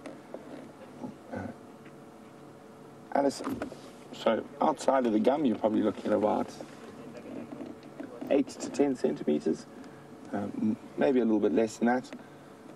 But I've got a question for you guys out there. What mammal has longer canines than a lion that occurs in the Sabi Sands? What mammal has longer canines than a lion? If you know the answer to that, pop me an email on questions at wildearth.tv or you can use the hashtag Safari Live on Twitter. What other mammal has a longer canine than a lion? I think I'm going to catch you all out on that one. What do you think, Andrew? Hmm, Potentially. Does, does Andrew know? Huh? I guess. Oh, You can guess. Well, we'll wait till some, um, we get some more answers in before we let Andrew throw his guess out there.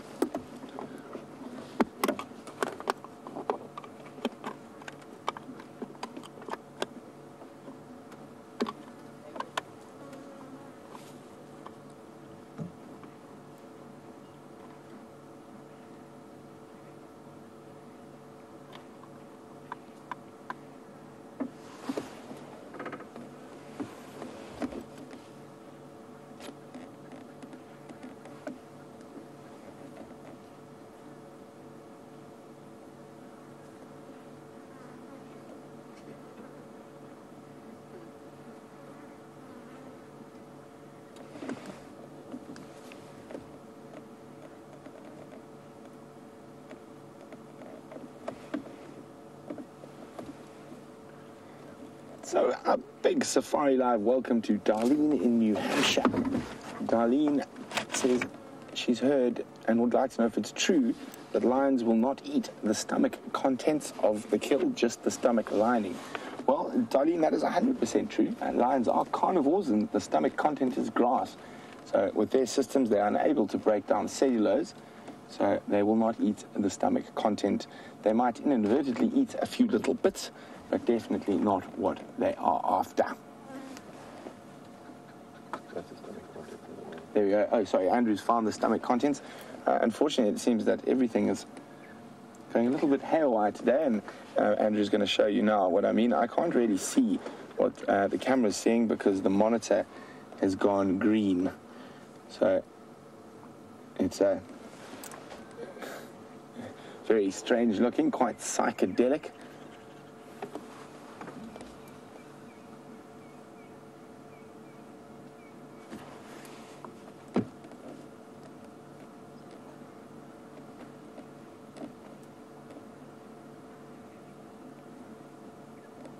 So Raisa and Jim, one from Finland and one from Ohio, have tuned in late on today's Sunset Safari, and they would like to know which pride this is. Well, I'm not going to tell you. You should be on time for your afternoon safaris, guys. I'm only teasing. It's the Nkuhuma Pride. All five uh, lionesses are here. Uh, one is with James. It went in search of water at the Buffelshoek waterhole and found a barren dust bowl, and the other four are lying around here. Two feeding a little bit on the carcass, and the other two are lazing in the shade.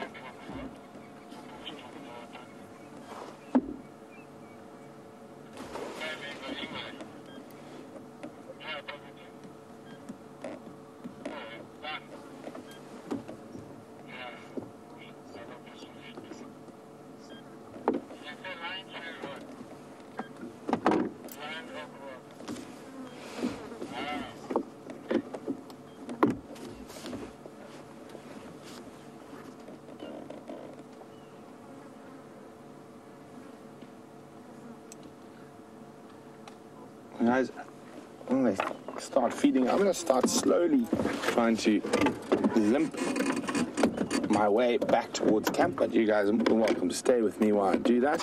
While James tries to sort out his technological gremlins. Hopefully we can get this gearbox fixed super fast and be out in two ticks.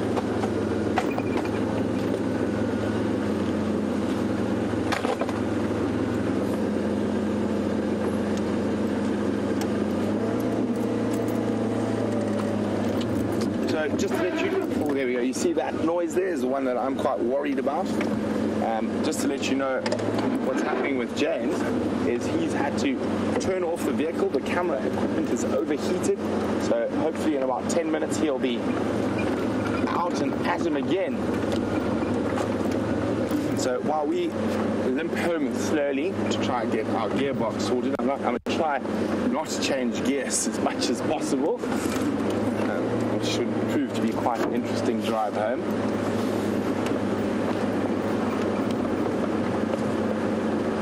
I was trying to think maybe I could share another little African folklore with you while we were. Oh, look who's here. He looks like he's just spotted the lions and decided time to get out of here. A big Kudu bull.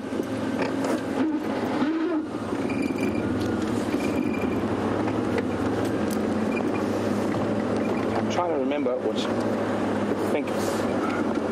Why don't you guys tell me? Would you like a folklore on lion, or would you like all about elephant? You choose those three. I think I got three good ones lined up. Let me know whether you would like an African folklore on lion, leopard, or elephant.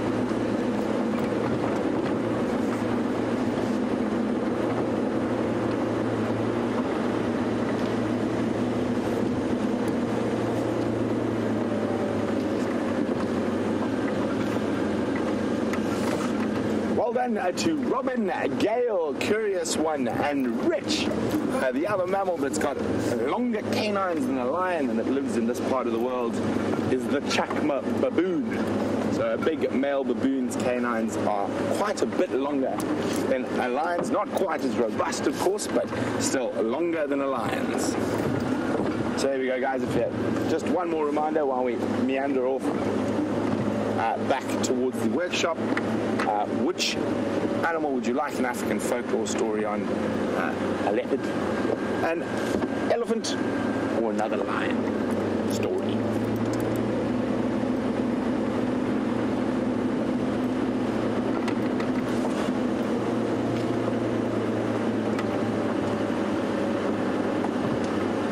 Ah, actually, that is a very, very, very valid point that's come through. Some people have said hippo and warthog, but as far on, a hippo, those are the, the enlarged ones are incisors, uh, and on the warthog as well, probably incisors. But very good guess nonetheless.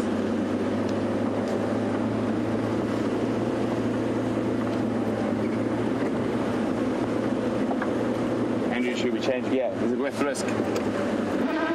Ooh, there we go. Living dangerously out here. Andrew, what would your guess have been on that? canines? I was going to say hippos. Ah, yeah, I think that's right. so.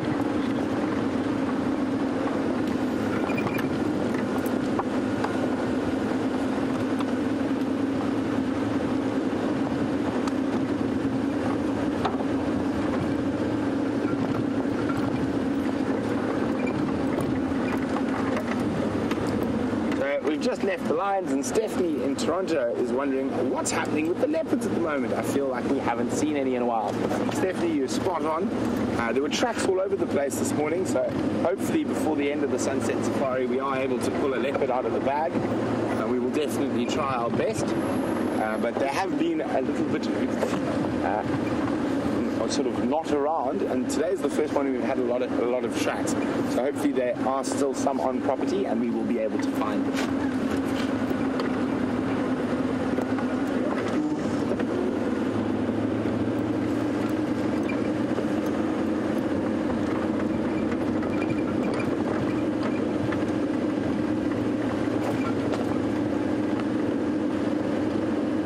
So we might even the other Nkuhuma lioness and James as we head back towards camp. Or maybe not, let's take a different route.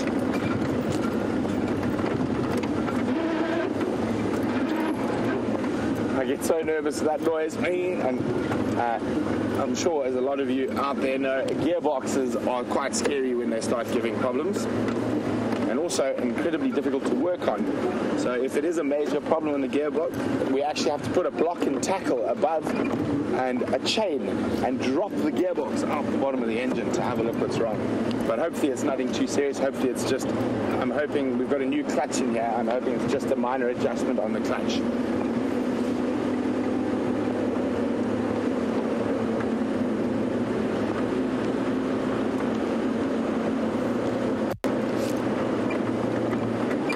Andrew, stop it. So we have a comment from Miss Lynn that is uh, causing the final control ladies to try get Andrew to do things he shouldn't. And uh, he's already he's already in trouble for his little trick yesterday, which I'm, I'm planning my revenge. He attacked me with insect repellent. Uh, but Miss Lynn, thank you very much. Miss Lynn says my hair is looking good today. And there we go. I knew he was going to do that.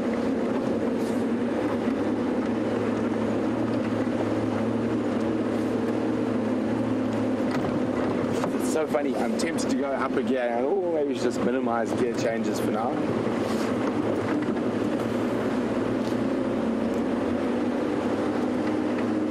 Uh, my mechanics are very basic. I can do the basics, but uh, when it comes to slightly more technical things, I'm the first to bow out and, and move on to someone who knows more. One of the more dangerous things is uh, someone who knows a little bit about a lot. Uh, you end up doing more damage than if you had just admitted that you didn't know what was wrong and got someone who does know to have a look at it.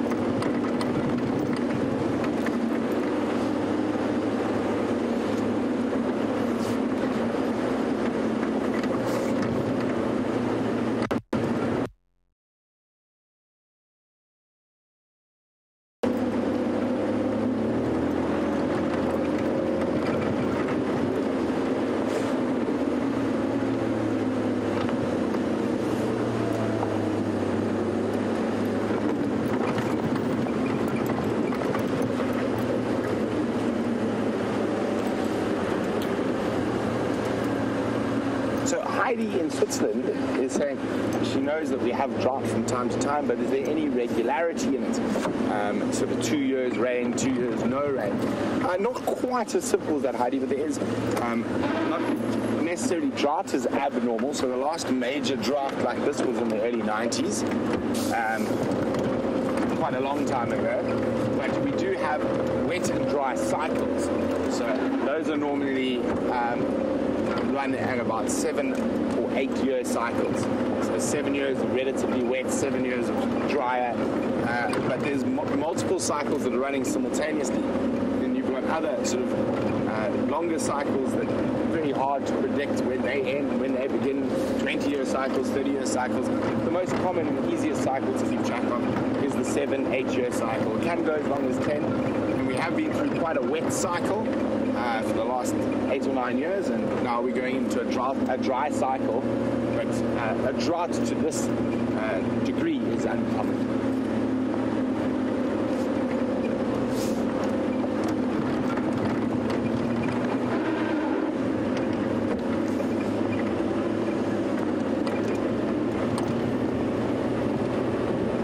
Wilson is wondering how deep is Sydney's dam? Do I think it will dry up as well? It's a possibility uh, if we don't get any more rain that it will dry up, but probably if it does, it'll be towards after June, July, maybe even uh, a bit later than that.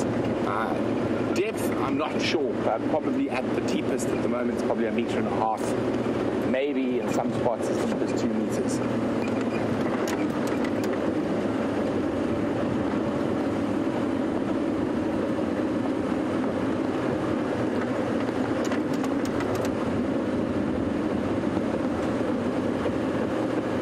Uh, so far, it's a tie between the leopard and elephant for the folklore story. Andrew, I know would like to have a elephant story, and uh, the elephant story I know ties in quite well with the draft we're having. So, for many years on the African plains, the two most powerful beings was the elephant and the rain spirit. Uh, elephant was a very proud and boastful creature and kept harassing and claiming the ra- to the rain spirit that he was more important and try to get the rain spirit uh, to acknowledge the fact that the elephant was more powerful, more impressive, and more important than him. The rain spirit's very valid argument was that, well, surely you need to eat and drink, and I provide the rain for you to eat and drink.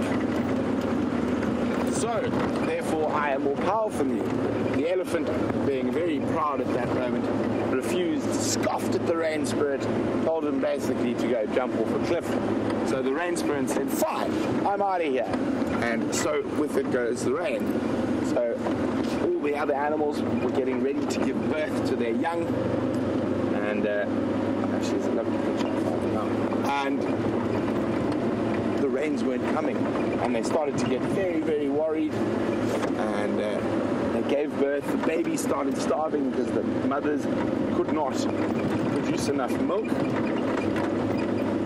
And so they went to the elephant because he was the lord of everyone because he is the biggest and asked him, please, Mr. Elephant, please go talk to your old friend, the rain servant, and get him to bring the rain back for us. So the vulture is often known as the best at doing the rain dances, and Elephant went to see Vulture and said, well, Vulture, you do the rain dance and bring the rain. Now, Vulture, ooh, being a servant of the rain spirit, refused to help Elephant, and all the other animals continued to harass him. Lovely little picture I wanted to show you, quite nice. I think it's quite nice. Um, of the elephant in the rain spirit. I think it's. Can you see it nicely, Andrew?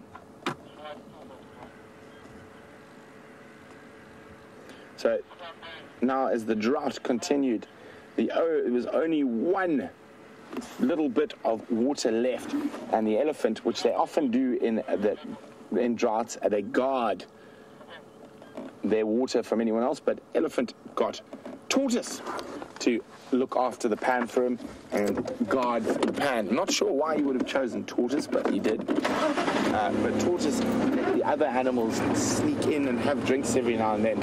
And then the elephant found out. What's that there? Sorry, yeah. Oh my goodness.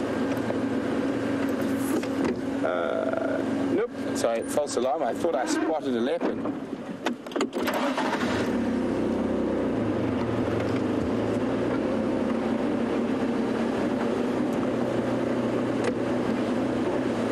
all the buffalo bulls.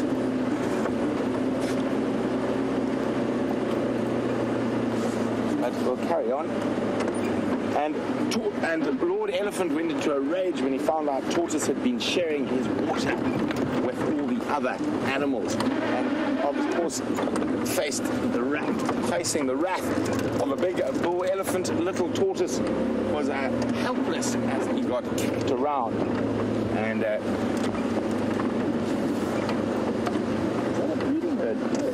Looks like there's a herd that has come down here as well.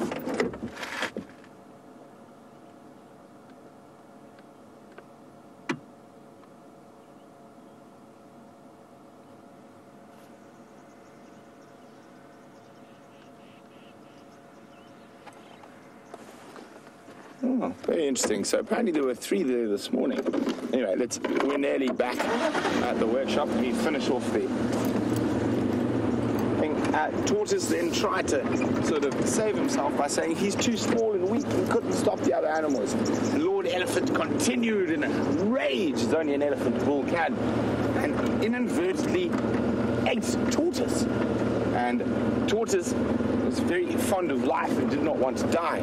Uh, got into Elephant's stomach and using those sharp claws and those spiny spines on the edge of Tortoise's legs, he scuffed through uh, the soft parts of Elephant's stomach and managed to escape out of Elephant's bottom and caused Elephant great pain.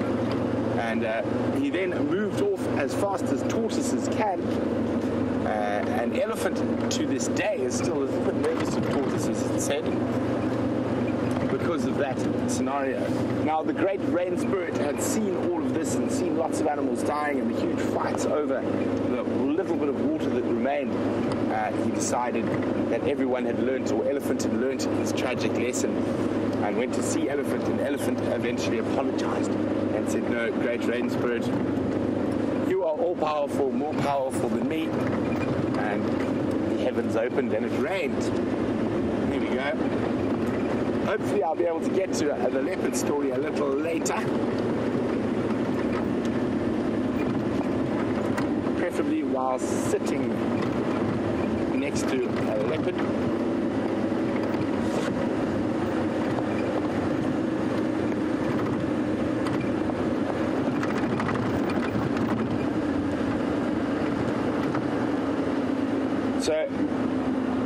guys, we're about to head into the workshop now, and you can join us, but we are going to unfortunately have to go to Tech Loop because apparently James's camera is still down. And uh, we will come back on air and give you an update on what's happening with the vehicle. Hopefully, it's a quick fix, a quick adjustment of the clutch. But if it isn't, I'm afraid we will have to um, have to not go out again, but I'm hoping that's not the case and we'll find out shortly. So there we go. Join us as we enter the workshop and then I'm going to have to say adieu for hopefully a very short while. Oh, monkey making an escape with some food that is stolen. Naughty monkeys. Look at them there, Andrew. There, hiding in the tree. Yep, off he goes. So guys, I'm at the workshop. I need to just jump on there and get uh, uh, Jim Reeves here to come give me a hand and have a look what's wrong. Uh, but hopefully we'll be back in a very short time. I'll see you just now.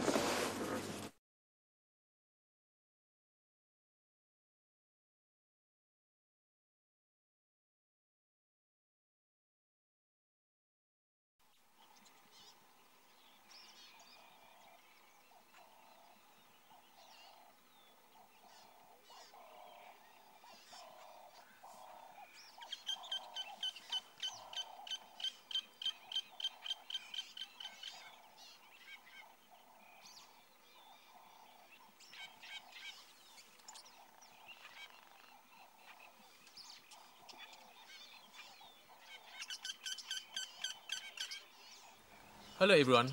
Being out in the bush and being out there live has its technical challenges. We're experiencing some of that now and are working on it as fast as possible to get it sorted and get you back on the vehicle with us.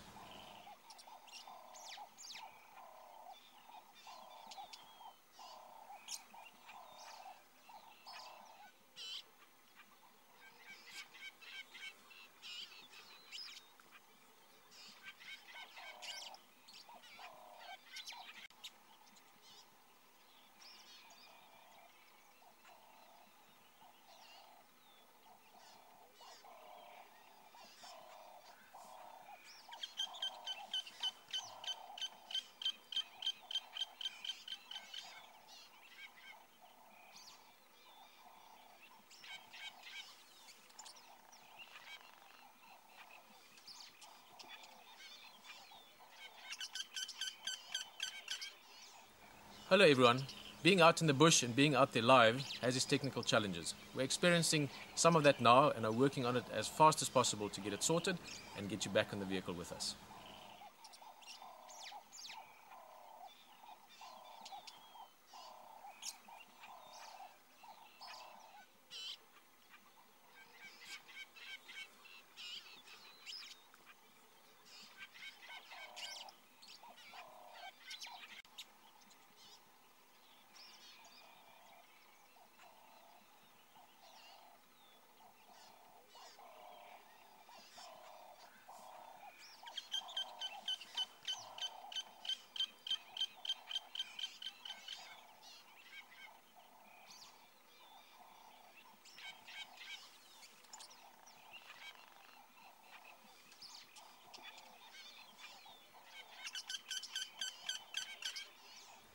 Hello everyone. Being out in the bush and being out there live has its technical challenges. We're experiencing some of that now and are working on it as fast as possible to get it sorted and get you back on the vehicle with us.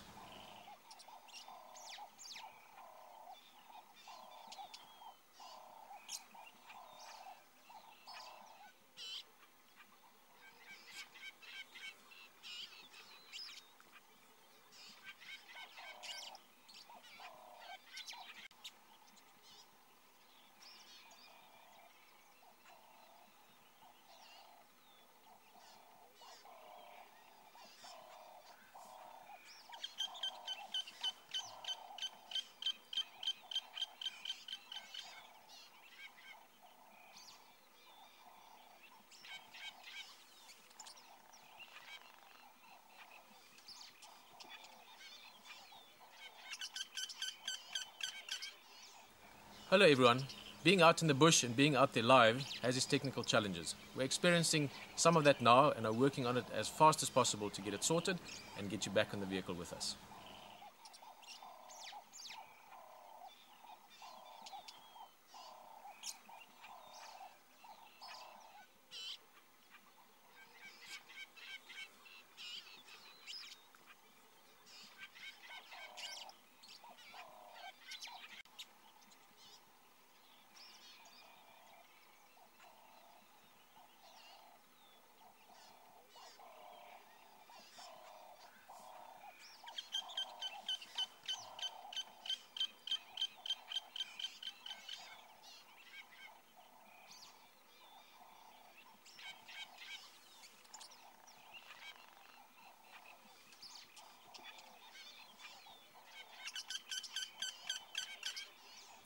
Hello everyone.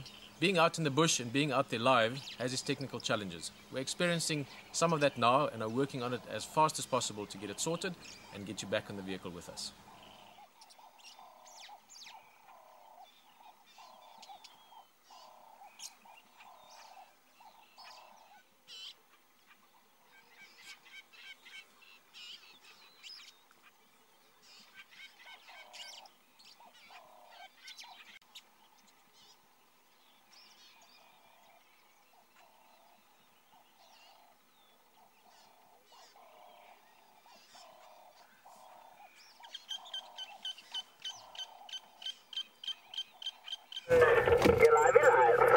Everybody. Sorry about this. I need to just close down the the communications. I forgot entirely.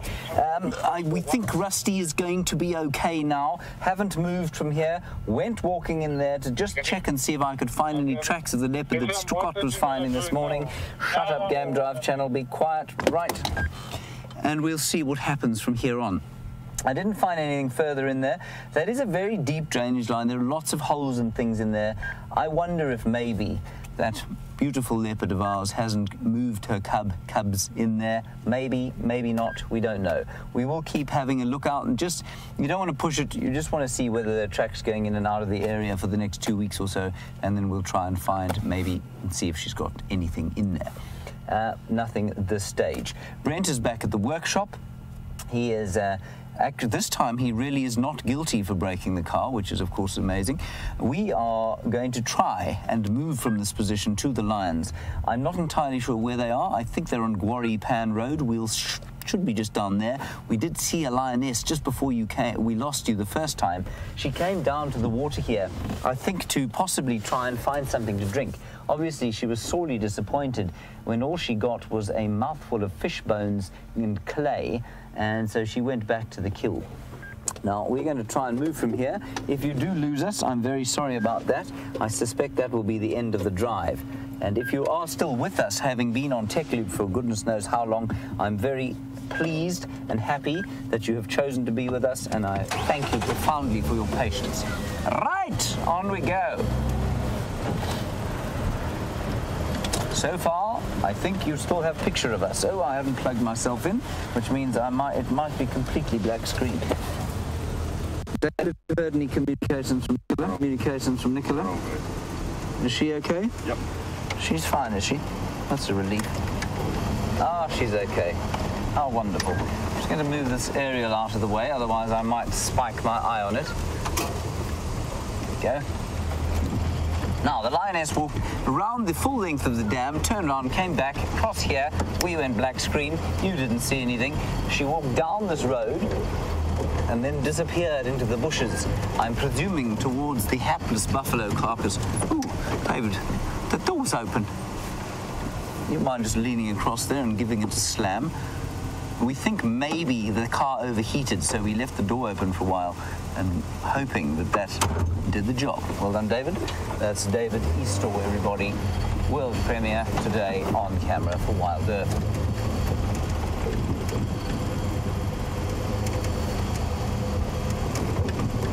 Let's just cruise gently through here. Now, this is a road called Hippo Pools Road. There are no pools on it. I seriously doubt whether there are any hippos on it either. But there is a perfect game path that heads from this road onto the next road. And I think that's the game path on which that lioness came. So nice to see a lioness moving in the day in perfect light. A wonderful musculature in her shoulders as she padded along the side of the water, which we don't normally see, of course. Normally they're just flat on their backs. They are tremendously, tremendously impressive when they're on the move.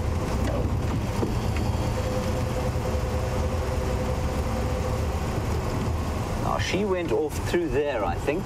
Ngwari Pan Road is just the other side. So we'll pop around there. I'm going to drive off-road through there unnecessarily.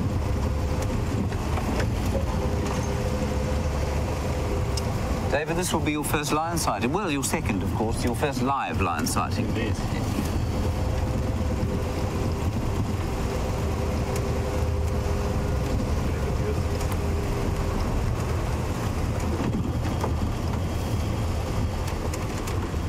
Just don't want to miss them. Shouldn't be possible to miss them, of course. It is still light after all. Oh, they're on the road.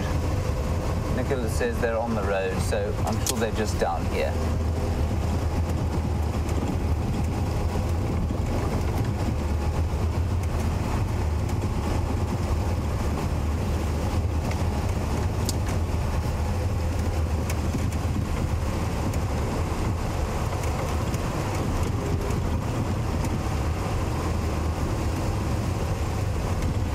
Ooh, Gerda, you want to know, you were with Brent and you wanted clarity as to whether there are six lionesses or only five.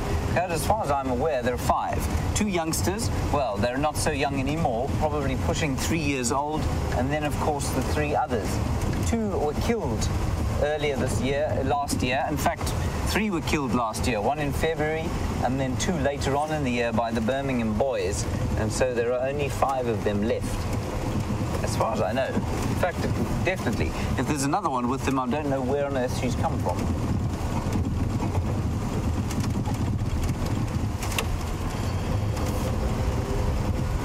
Cannot believe that this is the one road that Scott and I, in fact, there's one little section of the reserve that Scott and I didn't cover this morning. It would have had high action.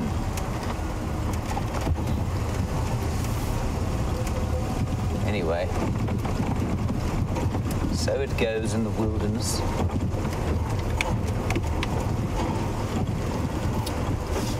Vibey road this.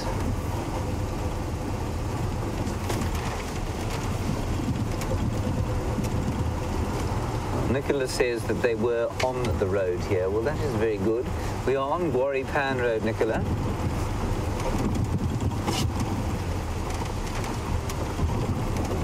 Ah, there they are. I see them. I see lions all over the place. They are all over. Let us ooze slowly along the road, and I'll count them for you, Gerda. Two eating the hapless bovid. Three lying in the shade here.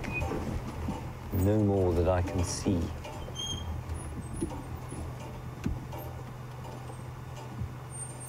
Hello, chaps.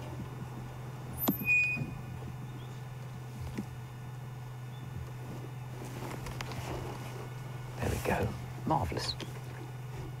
Now, the Nkuhuma Pride of late has been slightly nervous of vehicles, and so I'm just going to assess things carefully. I don't think they will be nervous sitting around a buffalo kill like this, and I'm sure with all the vehicle activity that there's been here today, they'll be absolutely fine. I'm also hoping desperately to see me old pal, Amber Eyes.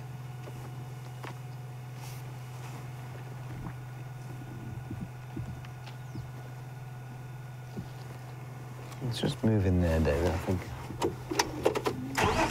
A bit of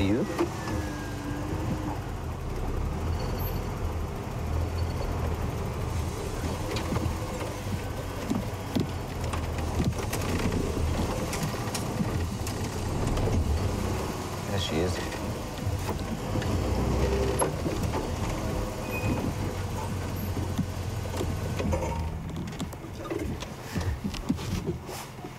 Samantha Jane, a very valid question during the course of this drought.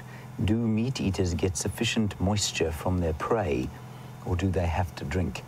Um, Samantha Jane, largely, leopards, for example, don't have to drink at all, but they will if there is water available. They can get enough moisture from their prey if they have to. Likewise, the same will be with lions. Lions not quite as water independent as leopards are. Now, I think, if, we, if I'm not mistaken, that lioness looking up, listening to the call of the pearl spotted owl, is the glorious amber eyes. Look over here, you saucy minx. Yes, I think that's her.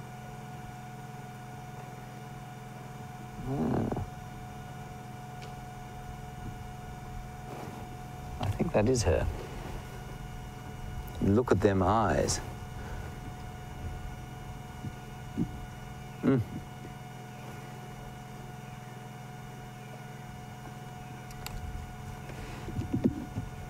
Now, Nicola says to me that she thinks there's only one sub-adult in this group and not two.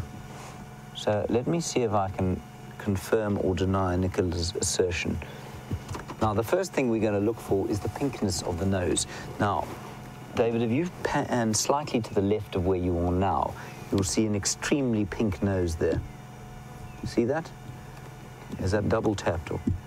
And you, is that it? There, oh, look at that. Double tapped nose. Now that to me looks like the nose of a sub-adult. So there is one. Now here comes, and if we just come back to this lioness here, this is also look, looks like a youngster to me. She's quite short, not filled out yet. Look over here. Look over here, that's it, lift your face. There we go, very pink nose as well. And a bit smaller. So I think there are two. And Nikki says that she reckons this is the only one that is the real youngster. She might well be slightly older than the other. I don't know if they're the same age or not, at least younger than the other one. But the other one is definitely younger than the other three.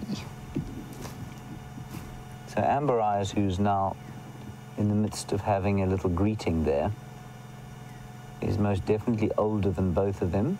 Lions, it's easy to tell because their noses go black. By the time they're six years old, the noses are completely black.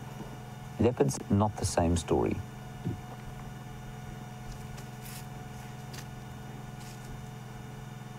Yeah, that other one on the ground there has a very pink nose.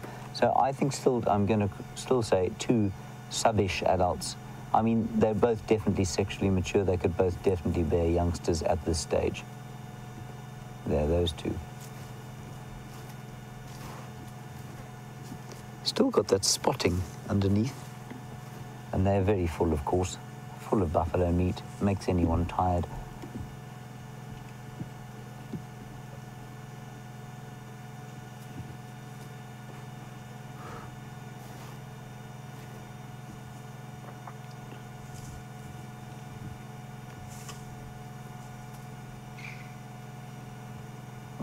I hate this question, Bethany, simply because I do not know the answer to it.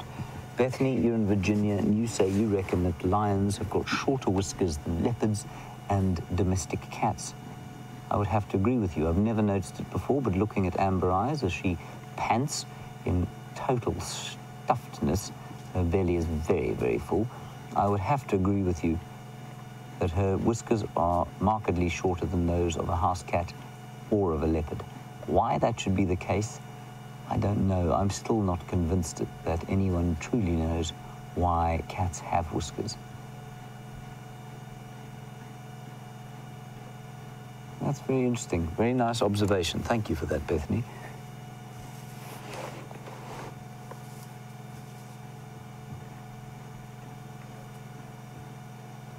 And I'm just going to ask Nikki to turn up the microphone so that we can hear them panting.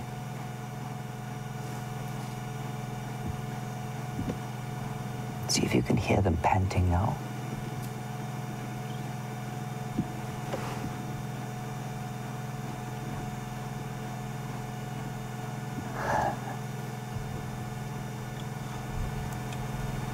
might just be able to hear.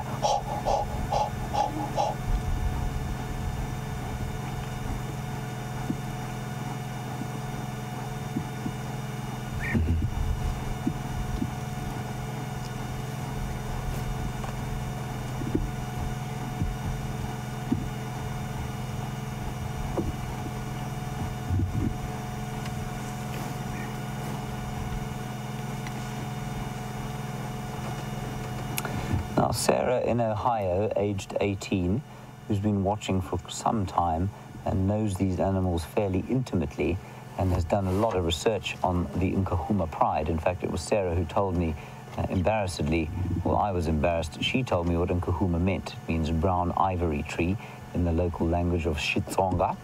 And Sarah, you reckon that uh, indeed it is true that two of the adults, of the young sub-adults were killed by the Birminghams and that there should be four adults here and one sub-adult. Sarah, Nikki is now your best friend in the world. I am just not convinced. So, uh, what could well happen, Sarah, is that the sibling of this youngster that we're looking at now was perhaps killed indeed by the Birmingham boys, but the other one, that one with the pink nose, is definitely not as old as Amber Eyes or the scar-backed female or the female that is currently feeding at the kill. So yeah, I'm, all I'm going to say is that uh, she could well, the sibling of the one that we're watching now, could well have been killed by the Birmingham boys, but that other one with the pink nose is definitely younger than the others. Thank you, Sarah. You just keep keeping us on our toes. It's very good. We love, we love this sort of thing.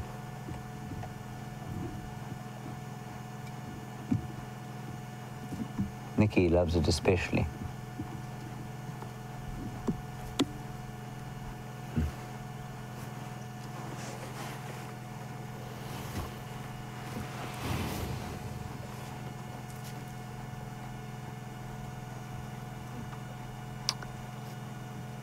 Dylan in Iowa. Lots of we were chatting about Amber Amber Eyes' as eyes, and they're amber, of course, and most lions have sort of greeny yellow eyes. And you want to know if, if it's possible for lions to have blue eyes. I think what you will find if there was an albino lion, it would have blue eyes. I don't think the leucistic white lions, again, one of our viewers may well know, the leucistic white lions have blue eyes. I think they've got the same color eyes as normal lions. Blue eyes, I have never seen in an adult lion. I've seen it in an adult leopard. I have not seen it in an adult lion. And when they're born, I'm pretty sure there's a bluish tinge to their eyes. But I think that changes pretty quickly. I might be wrong there. I'm no expert on their eye color. But please do check me up and let me know if I'm wrong. Hashtag Safari Live, questions at wildearth.tv. As you all know. Well, some of you do. And please don't forget to tell us where you're from when you do get hold of us. It's lovely to know where in the world you happen to be watching from. Look how her nasal cavities have opened up all the way to get as much oxygen in to her lungs and then around the stomach to help her digest her food.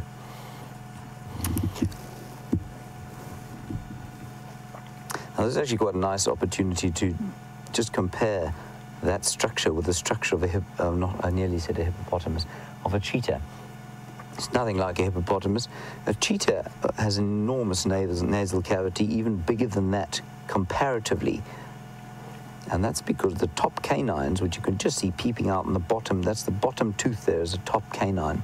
In a cheetah, those canines are vastly reduced to make space for extra oxygen to go through the nasal cavity and into the lungs because, of course, to maintain that unbelievable speed of 60 miles an hour or more than 100 kilometers an hour, the cheetah has got to suck in massive, massive amounts of oxygen to create the energy required for the incredible running speed that they're able to generate.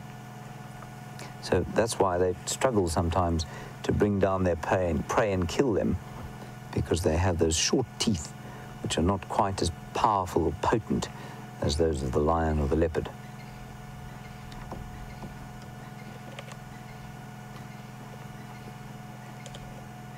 Thank you, Cat and Tampa. You say David is doing a great job on camera. Well done, David.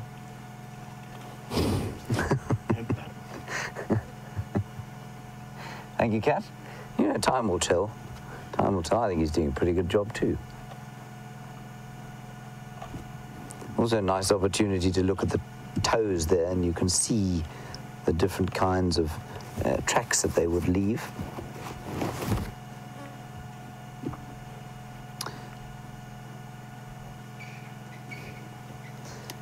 So Samantha Jane is in Johannesburg, my hometown, and David's hometown, if I'm not mistaken, from Johannesburg. Um, David, Samantha Jane would like to know, is this your first time filming wildlife? It is my first time. It is his first time filming wildlife, Samantha Jane. And what did you do before? Uh, background in live. Background in live filming, documentaries, couple of commercials, Magazine style, news style. magazine style news programs. There we go. So, this is probably just about as exciting for you as it is for everyone. He's, uh, he's smiling from ear to ear.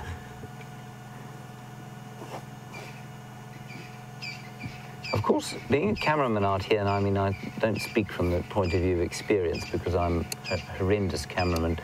Um, is very different from shooting, say, a BBC wildlife documentary. So if you look at something like The Hunt or Planet Earth or some of the National Geographic stuff, of course, you go in with a large crew of people and you set up a shot and you see if you can get the shot. And then if you can't, you go home and have a cup of coffee and maybe a drink. And then you come back the next day. And sometimes you sit for hours and hours and hours waiting for one shot.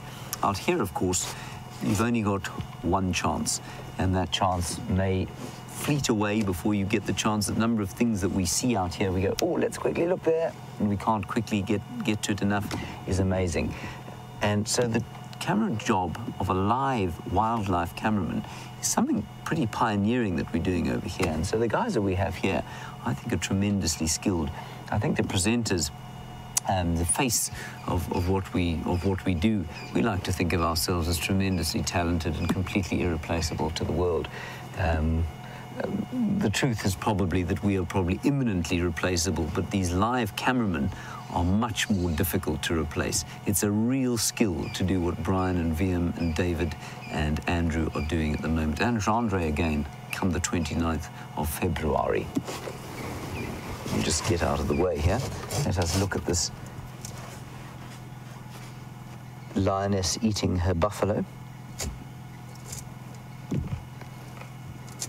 You can see the teeth there of the buffalo. Smiling. It's not really smiling.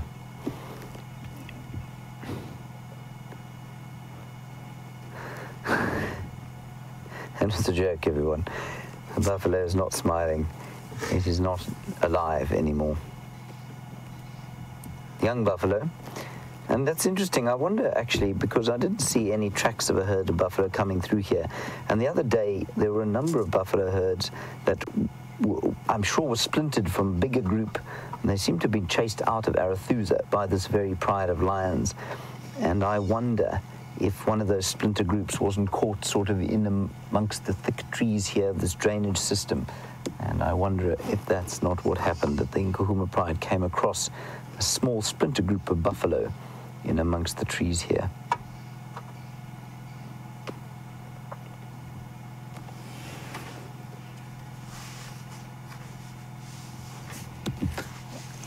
And as Scott says, said this morning, when there were only three females at the pan today, which is extremely odd to have three females in a herd of buffalo, that maybe they've split off because of a scuffle they've had. I have another theory as well, though, and I'm not sure which one is correct. Uh, maybe they have both something to do with it. But the interesting thing is that normally you'll read in the textbooks, of course, and animals unfortunately never follow textbooks, but you will read that buffalo herds and elephant herds are far larger during the dry season. This is a, dry season of sorts because the water is concentrated and so they move in a big group to, from water point to water point, and that's generally how it moves. And then once the water becomes more dissipated during the wet season, there's water in the pans, there's water in the temporary water holes, sometimes even in the rivers, and so the herds split up and to take advantage of all the different water sources. Now, what I suspect's happening now is that because instead of the water being concentrated, or because the water's concentrated, it's left huge swathes of land around the water holes that have nothing to eat in them. And so I think what you'll find is that the herds are also splitting off into smaller related groups to go and forage amongst more distant areas where they wouldn't normally go, or amongst areas like this, which I mean, this is definitely sub-optimal buffalo habitat. Very little grazing going on through here. Maybe splinter groups are going or foraging in areas where they wouldn't normally go. And maybe that's why we're having these small groups of buffalo moving around the bush. Again, that might be utter nonsense, but I think that sounds quite likely given the parlous state of the grazing at the moment.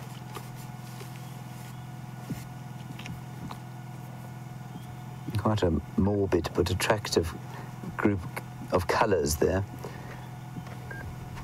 That golden green with the red behind it, till you realise what it is.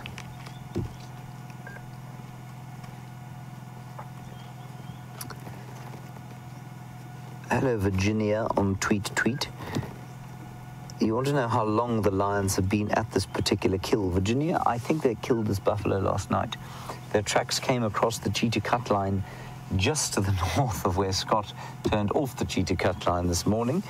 And I'm pretty sure that those tracks came from last night, and they probably wandered through this woodland either early this morning or late last night. And I think that's how long they've been here. Now, think about going to get some water this, uh, this evening, I would think. Buffelshoek Dam is obviously not an option, but Torchwood Dam is not too far from here. That's where they sort of come from. They were, of course, two days ago, they were eating a dead hippo on Nkoro. They obviously didn't find the hippo meat to their taste, and they wanted some more veal. So they're now having some, some veal mignon underneath a combretum, apiculatum tree. Good place to eat, really.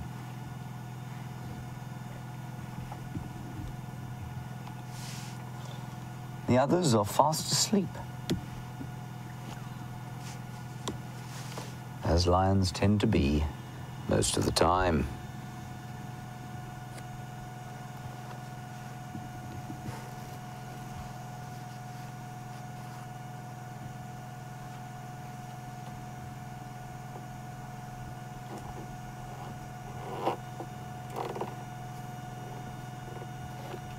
That's very interesting. Thank you very much, Maggie. You were out in South Africa recently. You saw some leucistic lions, and you say that the sub-adults of just about main growing age have got pale blue eyes. That's wonderful. I would love to see a lion with pale blue eyes. I think the blue would go rather splendidly with their tawny fur. I'm just going to quickly check the radio. I hear the approach of a vehicle.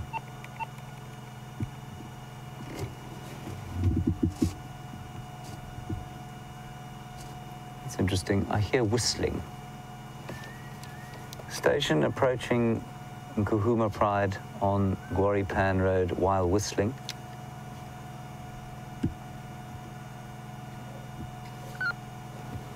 Can I join?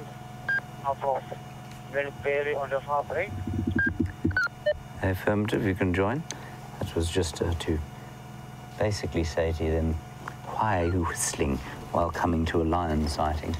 Very strange thing to be doing.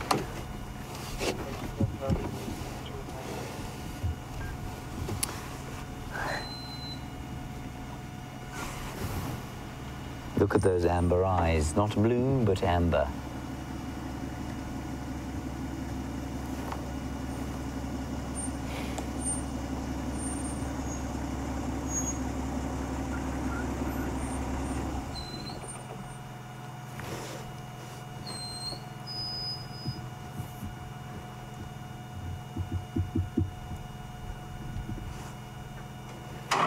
I'll Dylan, you're in Iowa. You've also been doing some research on white or pale lions, and you say that the lions of the Timbavati, of course, are not albino but leucistic, absolutely, and you say that their eyes are pretty blue.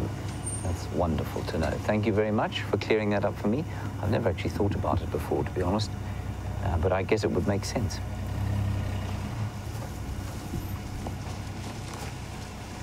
So that's Taxon coming into the sighting.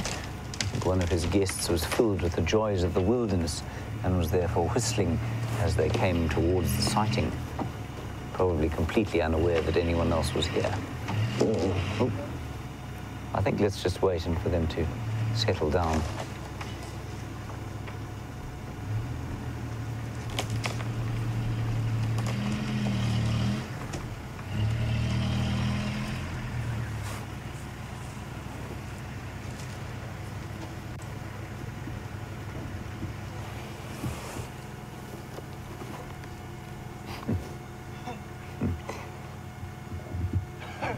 Now, Maggie, you're in Australia and you asked Brent the question as to why the, and Sharon in Pittsburgh, why the big cats like this have got round pupils in their eyes and the little ones, like the house cats, have got those sort of uh, slitty-eyed. How would you describe them? I suppose, um, not sure what that, oval, vertical, oh, there we go. Nicola's decided it's a vertical slit. Here, there's a much better way of putting it. Thank you, Nicola. And I've been asked this before, and I seem to remember somebody sending through an answer, and to my eternal discredit, I cannot remember what it was, save to say that I think that you'll find that the smaller cats, which are descended from the African wildcat, are far more likely to be even more nocturnal than are the large cats like this. And so I think what you'll find is that it's to allow even more light into the eye during the course of the night. That would be my only guess. Because they are definitely, you know, these lions are obviously awake during the day. For you to find a serval or an African wild cat or a black-footed cat around here active during this time of the day would be almost impossible.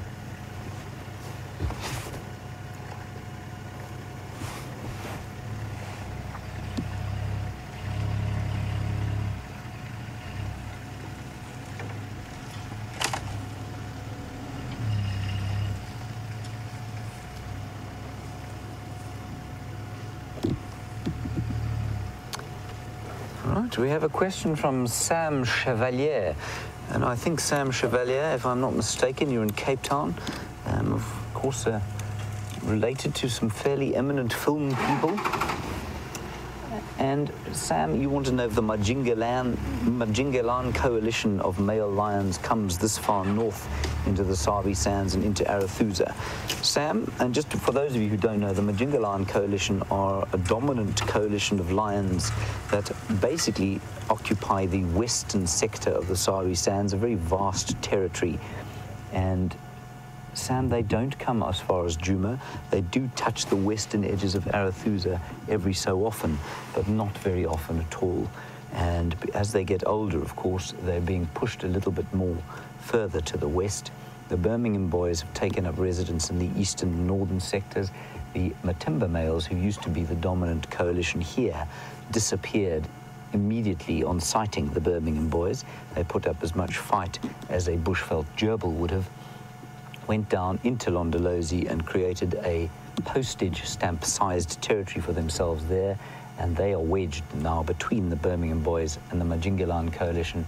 And I think that coalition consists of four still. So they don't come this far east. They do touch the western fringes of Arathusa every so often, but not often. So, Sam, that is the case of the Majingilane males. I'm not sure how you know them, but of course you do come from an eminent filming family, so perhaps you were, you know, au fait with information that many of us don't have. I don't think these lions are going to do a huge amount other than lie here at the moment and maybe do a bit more feeding a bit later, later on. So let's sit here for a few more minutes and then we'll probably press on and see what else we can find.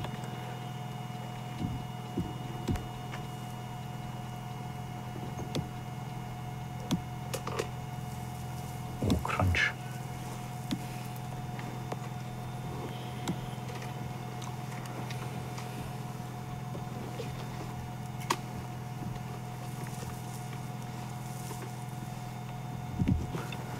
Um, Darlene in New Hampshire, you're wondering about male lions and if they were around this area, would that kind of allogrooming, the greeting, the fond head rubbing that takes place, would it take place uh, if there was a male lion here? Darlene, yes, it would, absolutely, once he'd eaten his fill. There's no affection unless he has eaten his fill. If he hasn't eaten his fill, he will just start beating people up, basically beating up the lionesses until he has eaten sufficient, and then he will lie down and they will greet each other during the course of finishing the kill.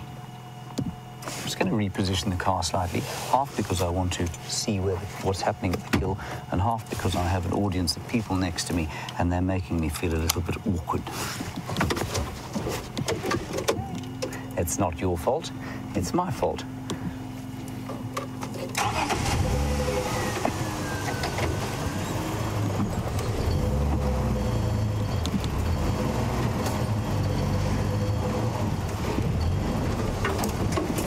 See if we can get a better look at the kill. Now we've got to drive pretty close to the ones on the right-hand side here. So we're just going to ease gently past. If they stand up, we'll just keep going. What we don't want to cause is alarm. The lioness there is looking straight at the virtual reality rig. That would be an expensive pounce. Where would you see that, in fact? Are you comfortable there? I'm just going to stop here, actually, for a little while. They look very relaxed. I'm going to drop my voice. Just move slowly when you move around. It's okay. This is David there. It's first time lions, of course, at we are now probably two and a half meters from them. That's pretty close. And you can see the lioness is definitely looking at the camera. She's looking at the aerial. Of course, I think there's an element of entertainment about that. Now, Sarah and Nicola, I want you to look at these two lions because, well, this is assuming David can maintain focus, of course. That lioness there has got the pink nose. That, of course, is the very young one. Well, very young by, I'm saying she's probably about three years old. Now, if we go straight across to the one at the far end there, there, yeah, that's the one. No, no, left there, no. Behind, looking at us with a pink nose. That's it. You see, I think that lioness is the same age. Let's just, yeah, let's have a good look at that one, and then let's have a look at the middle one as well, because she's got a pinkish nose too. So you see, to me, that nose looks exactly the same age as the other one.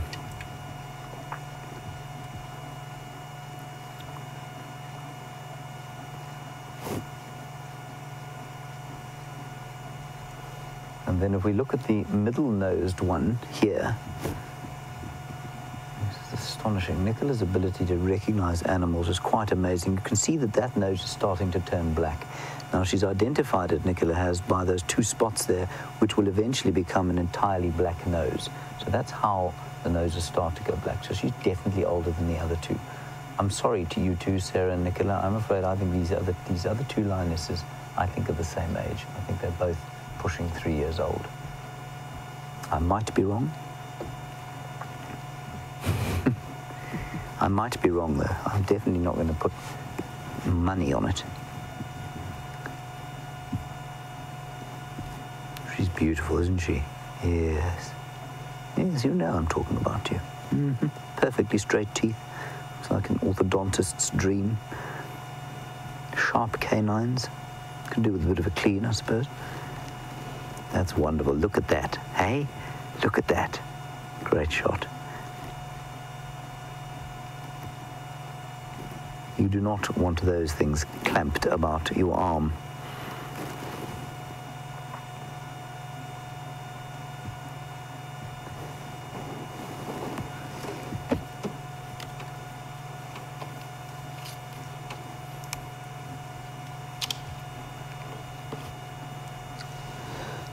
Things I'd like you to notice about this. Of course, this is uh, The first is the fact that these eyes are not amber, they're that yellow, yellow green color.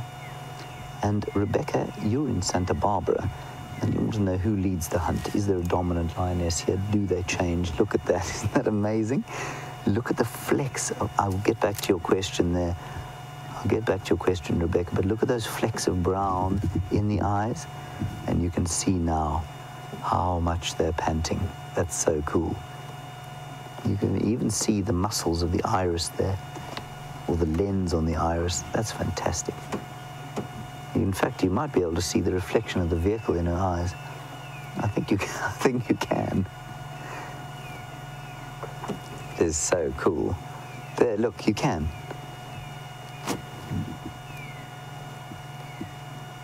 That's magnificent. Very cool. So, Rebecca, you want to know if there's a lead lioness during a kill? Um, there is no lead lioness in a, a lion pride. The oldest and biggest will dominate a kill, obviously, until she starts to lose weight as she gets older, and then she will have to make her way back down the pecking order.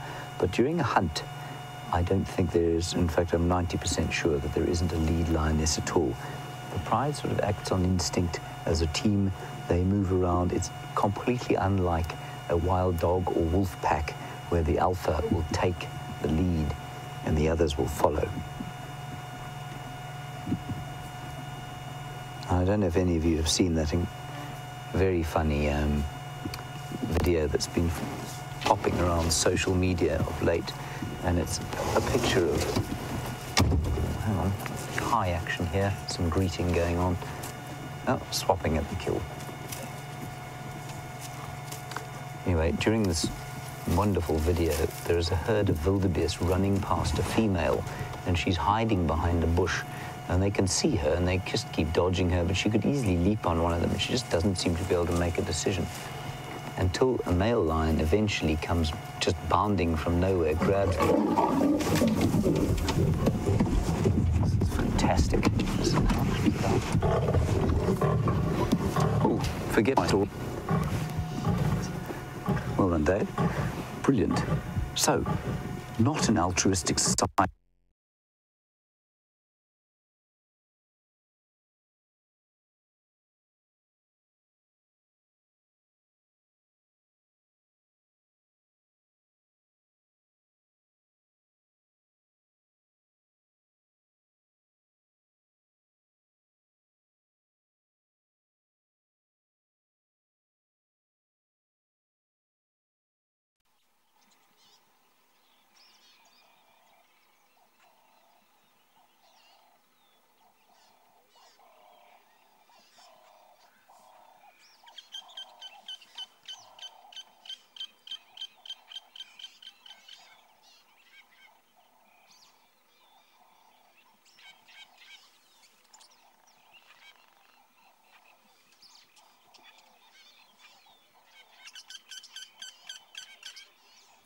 Hello everyone. Being out in the bush and being out there live has its technical challenges. We're experiencing some of that now and are working on it as fast as possible to get it sorted and get you back on the vehicle with us.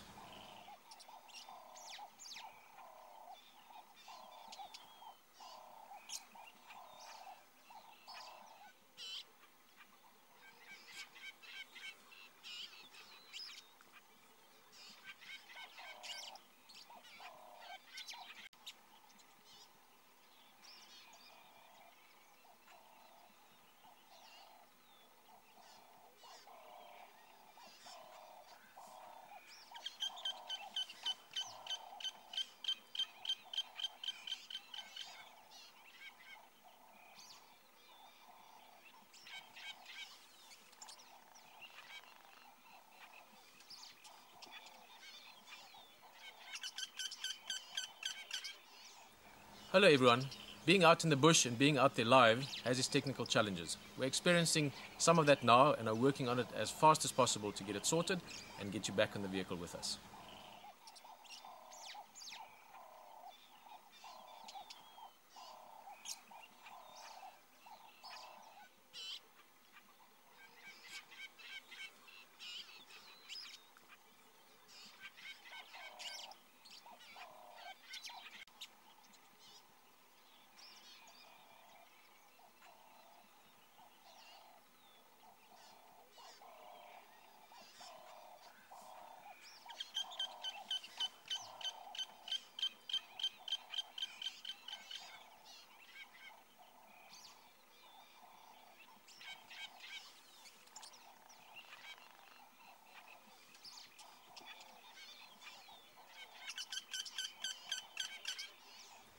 Hello everyone. Being out in the bush and being out there live has its technical challenges. We're experiencing some of that now and are working on it as fast as possible to get it sorted and get you back on the vehicle with us.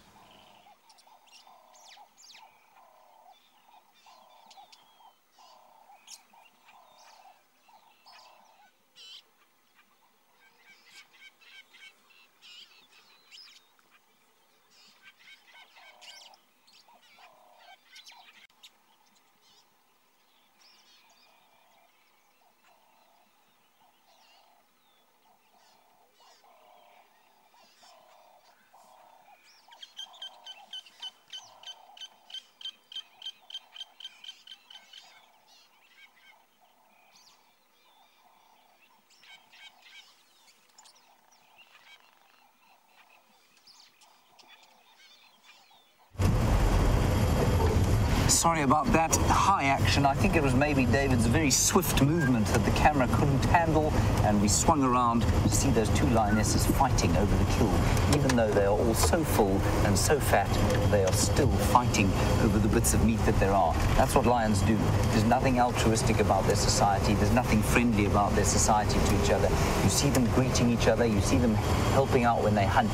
But when it comes down to it, they are totally vicious with each other.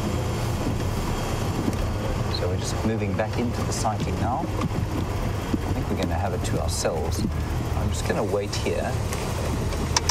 There's a female coming in now. Well, obviously it's a female, there are no males here.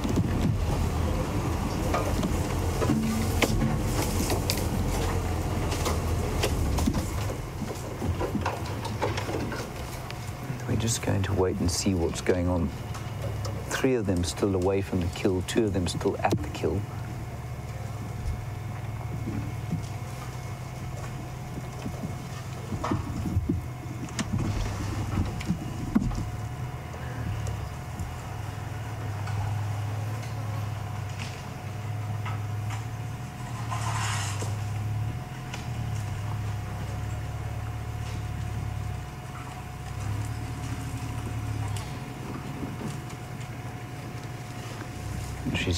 She's cleaning her paws.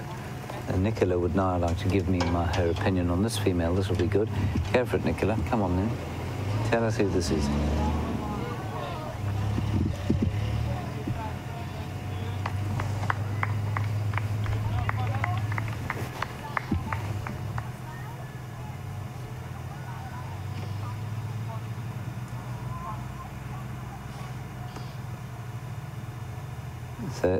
So Nicola reckons that this one is very obvious because her bottom right canine is broken. And she's one of the oldest lionesses. Well, we can definitely see that from the fact that her nose is completely black and her face is quite pale normally. It won't be pale at the moment because it'll be covered in gore and blood, which is why she's giving herself a bit of a wash. She's definitely missing her bottom right canine at this stage, though. Thank you, Nicola. Right, I'm going to move into where Aubrey, where Tax was parked there, because the lions are still giving the odd grunt and growl at each other. If we can get a close-up of them having at each other, it'll be marvelously exciting.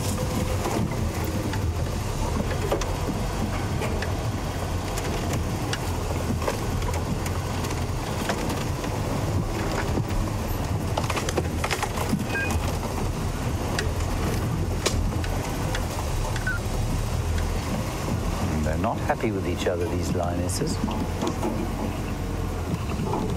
Still growling.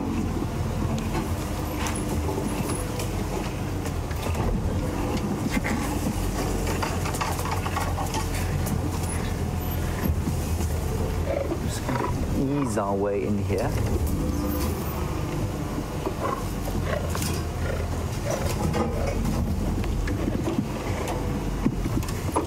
How's that, David? Right? Now, we're going to speak a little bit more quietly because obviously we're very close to the lions, but they don't normally react to our voices at all. This pride has, of late, been a little bit ornery around the cars, but I think that was because of the mating that they were doing with the Birmingham boys, and they seem to be a little uneasy with life. But at the moment, they seem very happy and fine.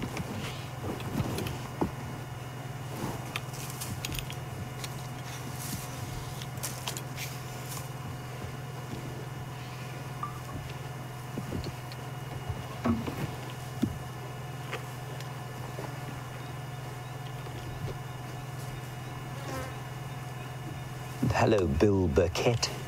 You want to know where on earth the male lions are. Uh, Bill, the last we heard, they were on a coral munching a hippopotamus that had recently met its end. And I think what you'll find, Bill, is that they've moved from there back south towards Mala Mala. As far as I understand, that's what's happened. I couldn't be sure, to be honest. I'm not. I haven't had a an update about them, but I think that's where they are. Just remember, everyone, that the males, of course, are not part of the pride. They are an independent coalition that will dominate a number of pride territories. And so we often think, of course, of prides containing females and a dominant male who looks after them, a la the Lion King, greatest biological suite of lies ever told. Lovely story, though, of course. But the males are never part of the pride. They would come in here and steal this kill if they knew it was here, I've no doubt. But the females will not necessarily want to be around the males at all unless the males are thinking about mating. Or unless the females are ready to mate, unless they're in estrus and ready to mate.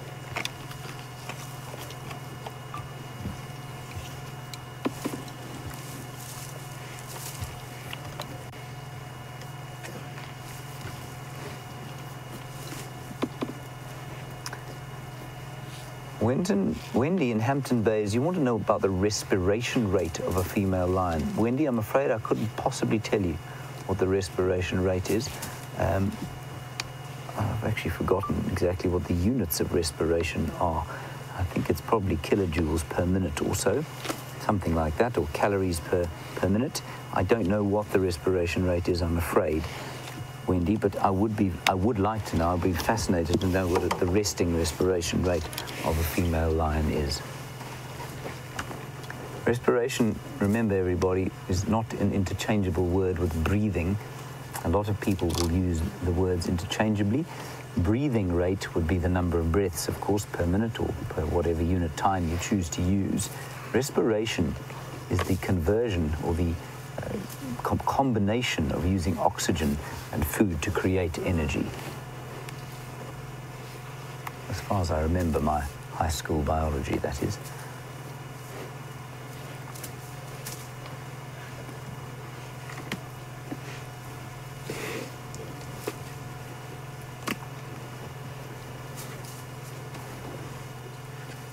And of course, we've seen these lionesses mating of late with a new coalition called the Birmingham Boys.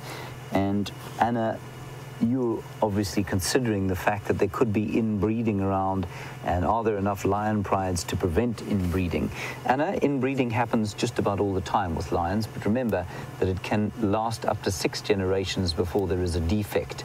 Um, so that is, it's very common in cats, it's very common in leopard, it's very common in lions. In this particular case, though, I think those Birmingham boys, I actually know the farm from which they come. It's just next to where I used to work in the Timbavati, on the Timbavati River, beautiful piece of land up about 70 kilometers north of where we're sitting now.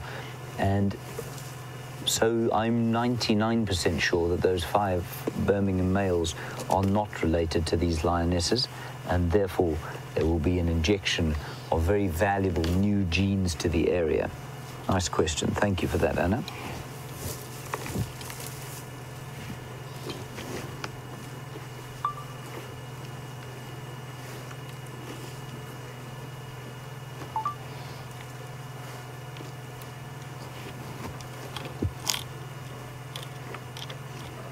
Now, let's just have a listen and see if we can hear any interesting calls. We're at that time of the day that I call the changing of the guard, when the daytime animals go to the night. Let's just have a listen.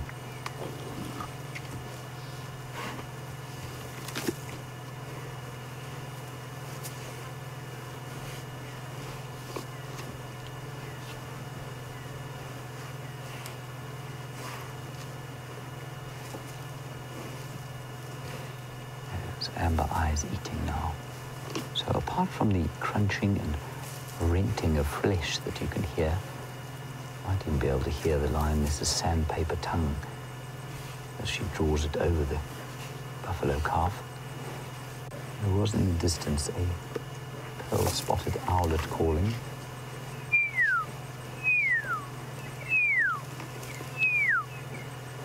Then there's some francolins calling off towards Buffelshoek Dam. But otherwise, everything is very silent.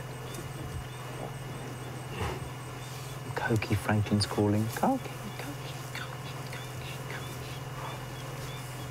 But again, a very subdued evening chorus, in the same way that the morning chorus is very subdued in the absence of moisture. For some reason, with the, with the drought, the dawn chorus has been extremely subdued.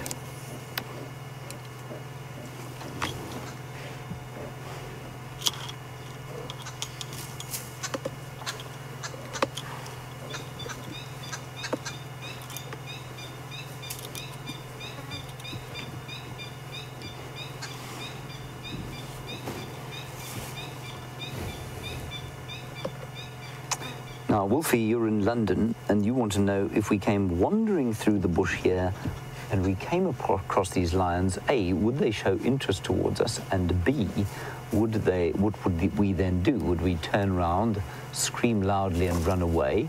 Or would we stand our ground and back away slowly? Wolfie, the latter is definitely the correct method of um, dealing with lions on foot. Normally, lions like this, I've seen this pride on foot, and they move away quite quickly. Otherwise, they just sit up and look. And then they, if you just back away, they will normally lie back down again and not think twice about you again. Lions, remember, are threatened by us, and so it is relatively safe to find them on foot. Look at the beautiful shot of Amber Eyes eating. Stunning picture of her eyes there. So, Wolfie, Absolutely, you don't ever run from a cat. It's exactly the same as a house cat. They will give chase if you run, and especially if they charge. So remember, sometimes lions will charge you. You have to stand still. If you turn around and run away, you can get yourself into big trouble, mostly because a human being is one of the slowest creatures out here. And secondly, because a cat, like all cats, lions are the same. They will chase something that appears to be prey. Because if you stand still, of course, you're not behaving like prey.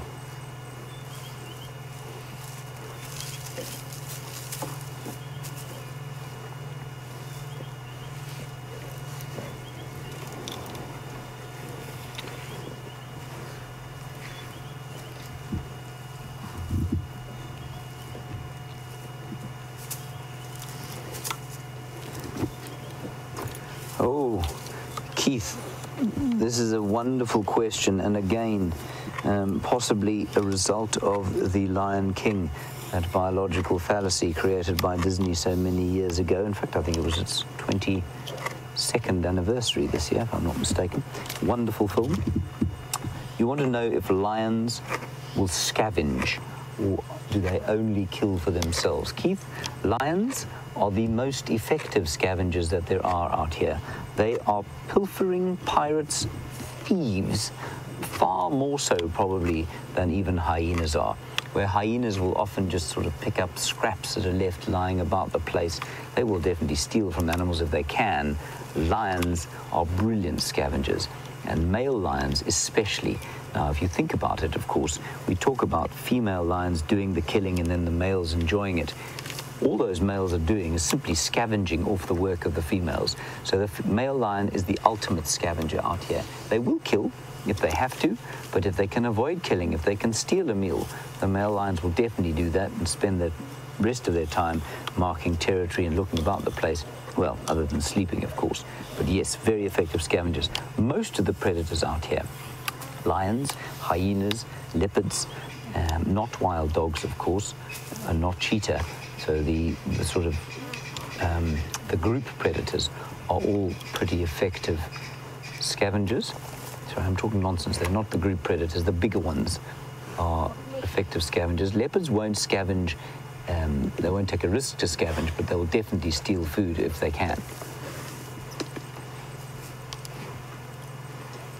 It's a great big fallacy that only hyenas are scavengers, and in some places, you know, parts of East Africa, lions scavenge more than hyenas. And hyenas do more hunting than lions. Hyenas are very, very effective hunters. Look at those claws. Ooh, look at those claws.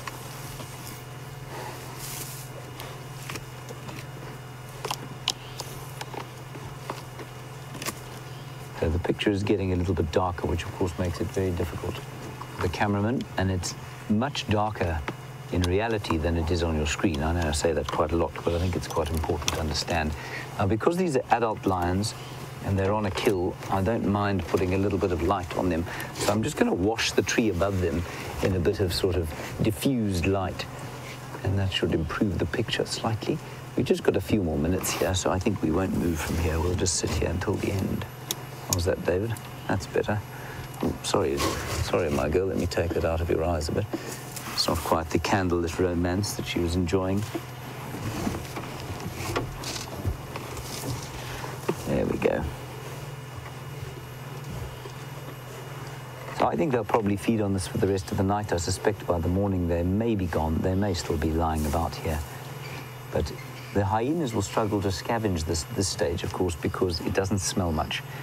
It hasn't been out in the sun for long enough to start rotting. There hasn't been much of a wind today. Certainly hasn't been a wind blowing from the southeast. If there had been, it would have been blowing towards our friends at the hyena den, and they may be sort of on their way here to see what was going on. But this is a goodly sized pride of five lionesses, and it'd have to be a big group of hyenas to try and steal it from them.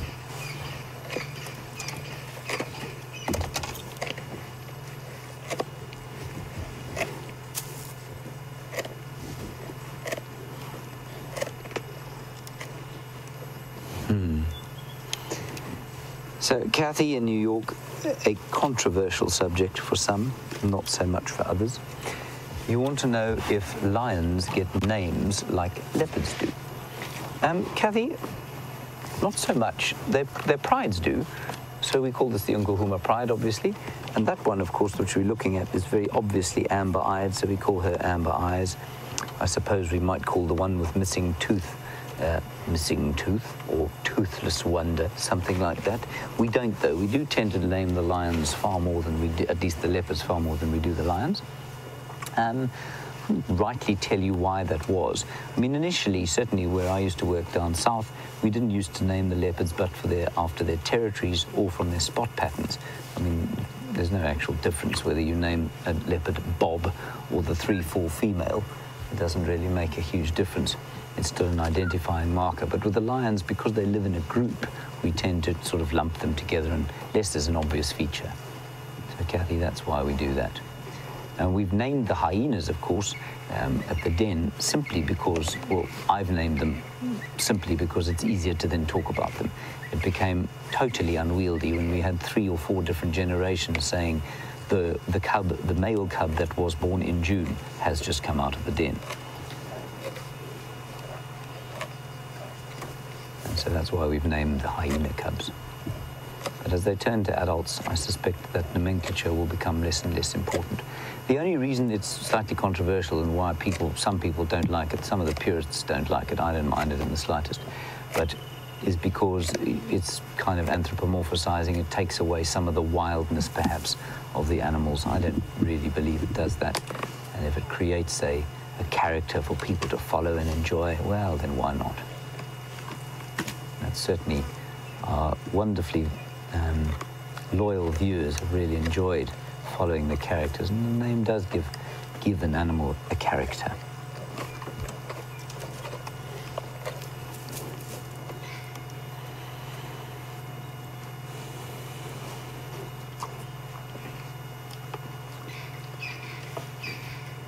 Interesting, BJ. Two aspects to your question. I think two aspects that are very interesting to your question, BJ.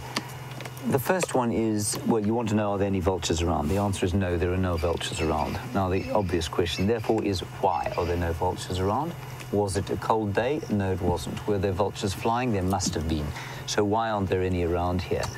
Two reasons. I think the first is that this kill is very cleverly hidden underneath a fairly leafy tree, which is no mean feat given the sparsity or scarcity of leaves around at the moment, so I think it would have been difficult for a vulture to see. Remember, vultures um, scavenge by sight.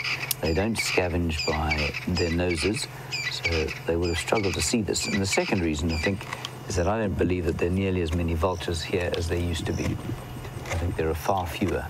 I don't know why. I think it's got something to do with there being trapped for traditional medicine. I think it's also got a lot to do with the vulture restaurants that they have. There's that thick tree under which the buffalo calf is hidden. They've got vulture restaurants at various tourist hotspots along the mountains, and I think, you know, if a vulture can get out of a tree, fly off and have eat a sort of emaciated piece of cattle rather than fight a lion for some buffalo, I think that's what it's going to do. I think those are the two reasons we're not seeing a lot of vultures at the moment. I've definitely noticed since my first foray into the Timbavati almost 16 years ago, there is a distinct lack of a different species of vulture. I only ever see white-backed and perhaps the odd-hooded one white-headed vulture, one lappet-faced vulture here. It didn't used to be like that. So I think that's quite an indictment. It's quite sad.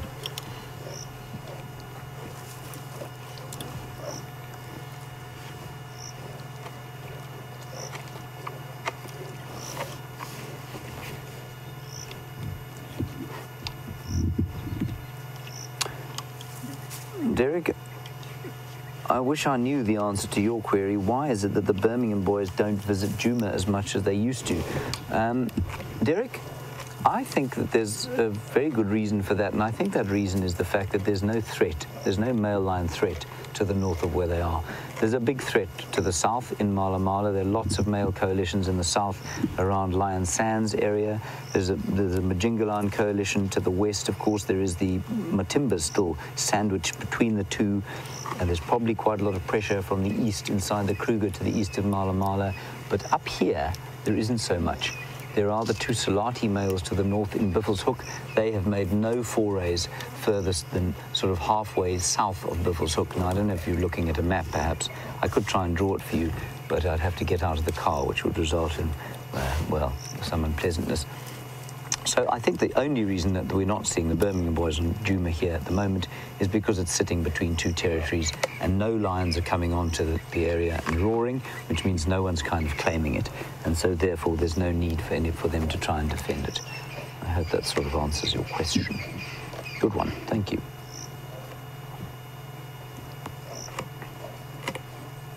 Wonderful sounds of crunching there.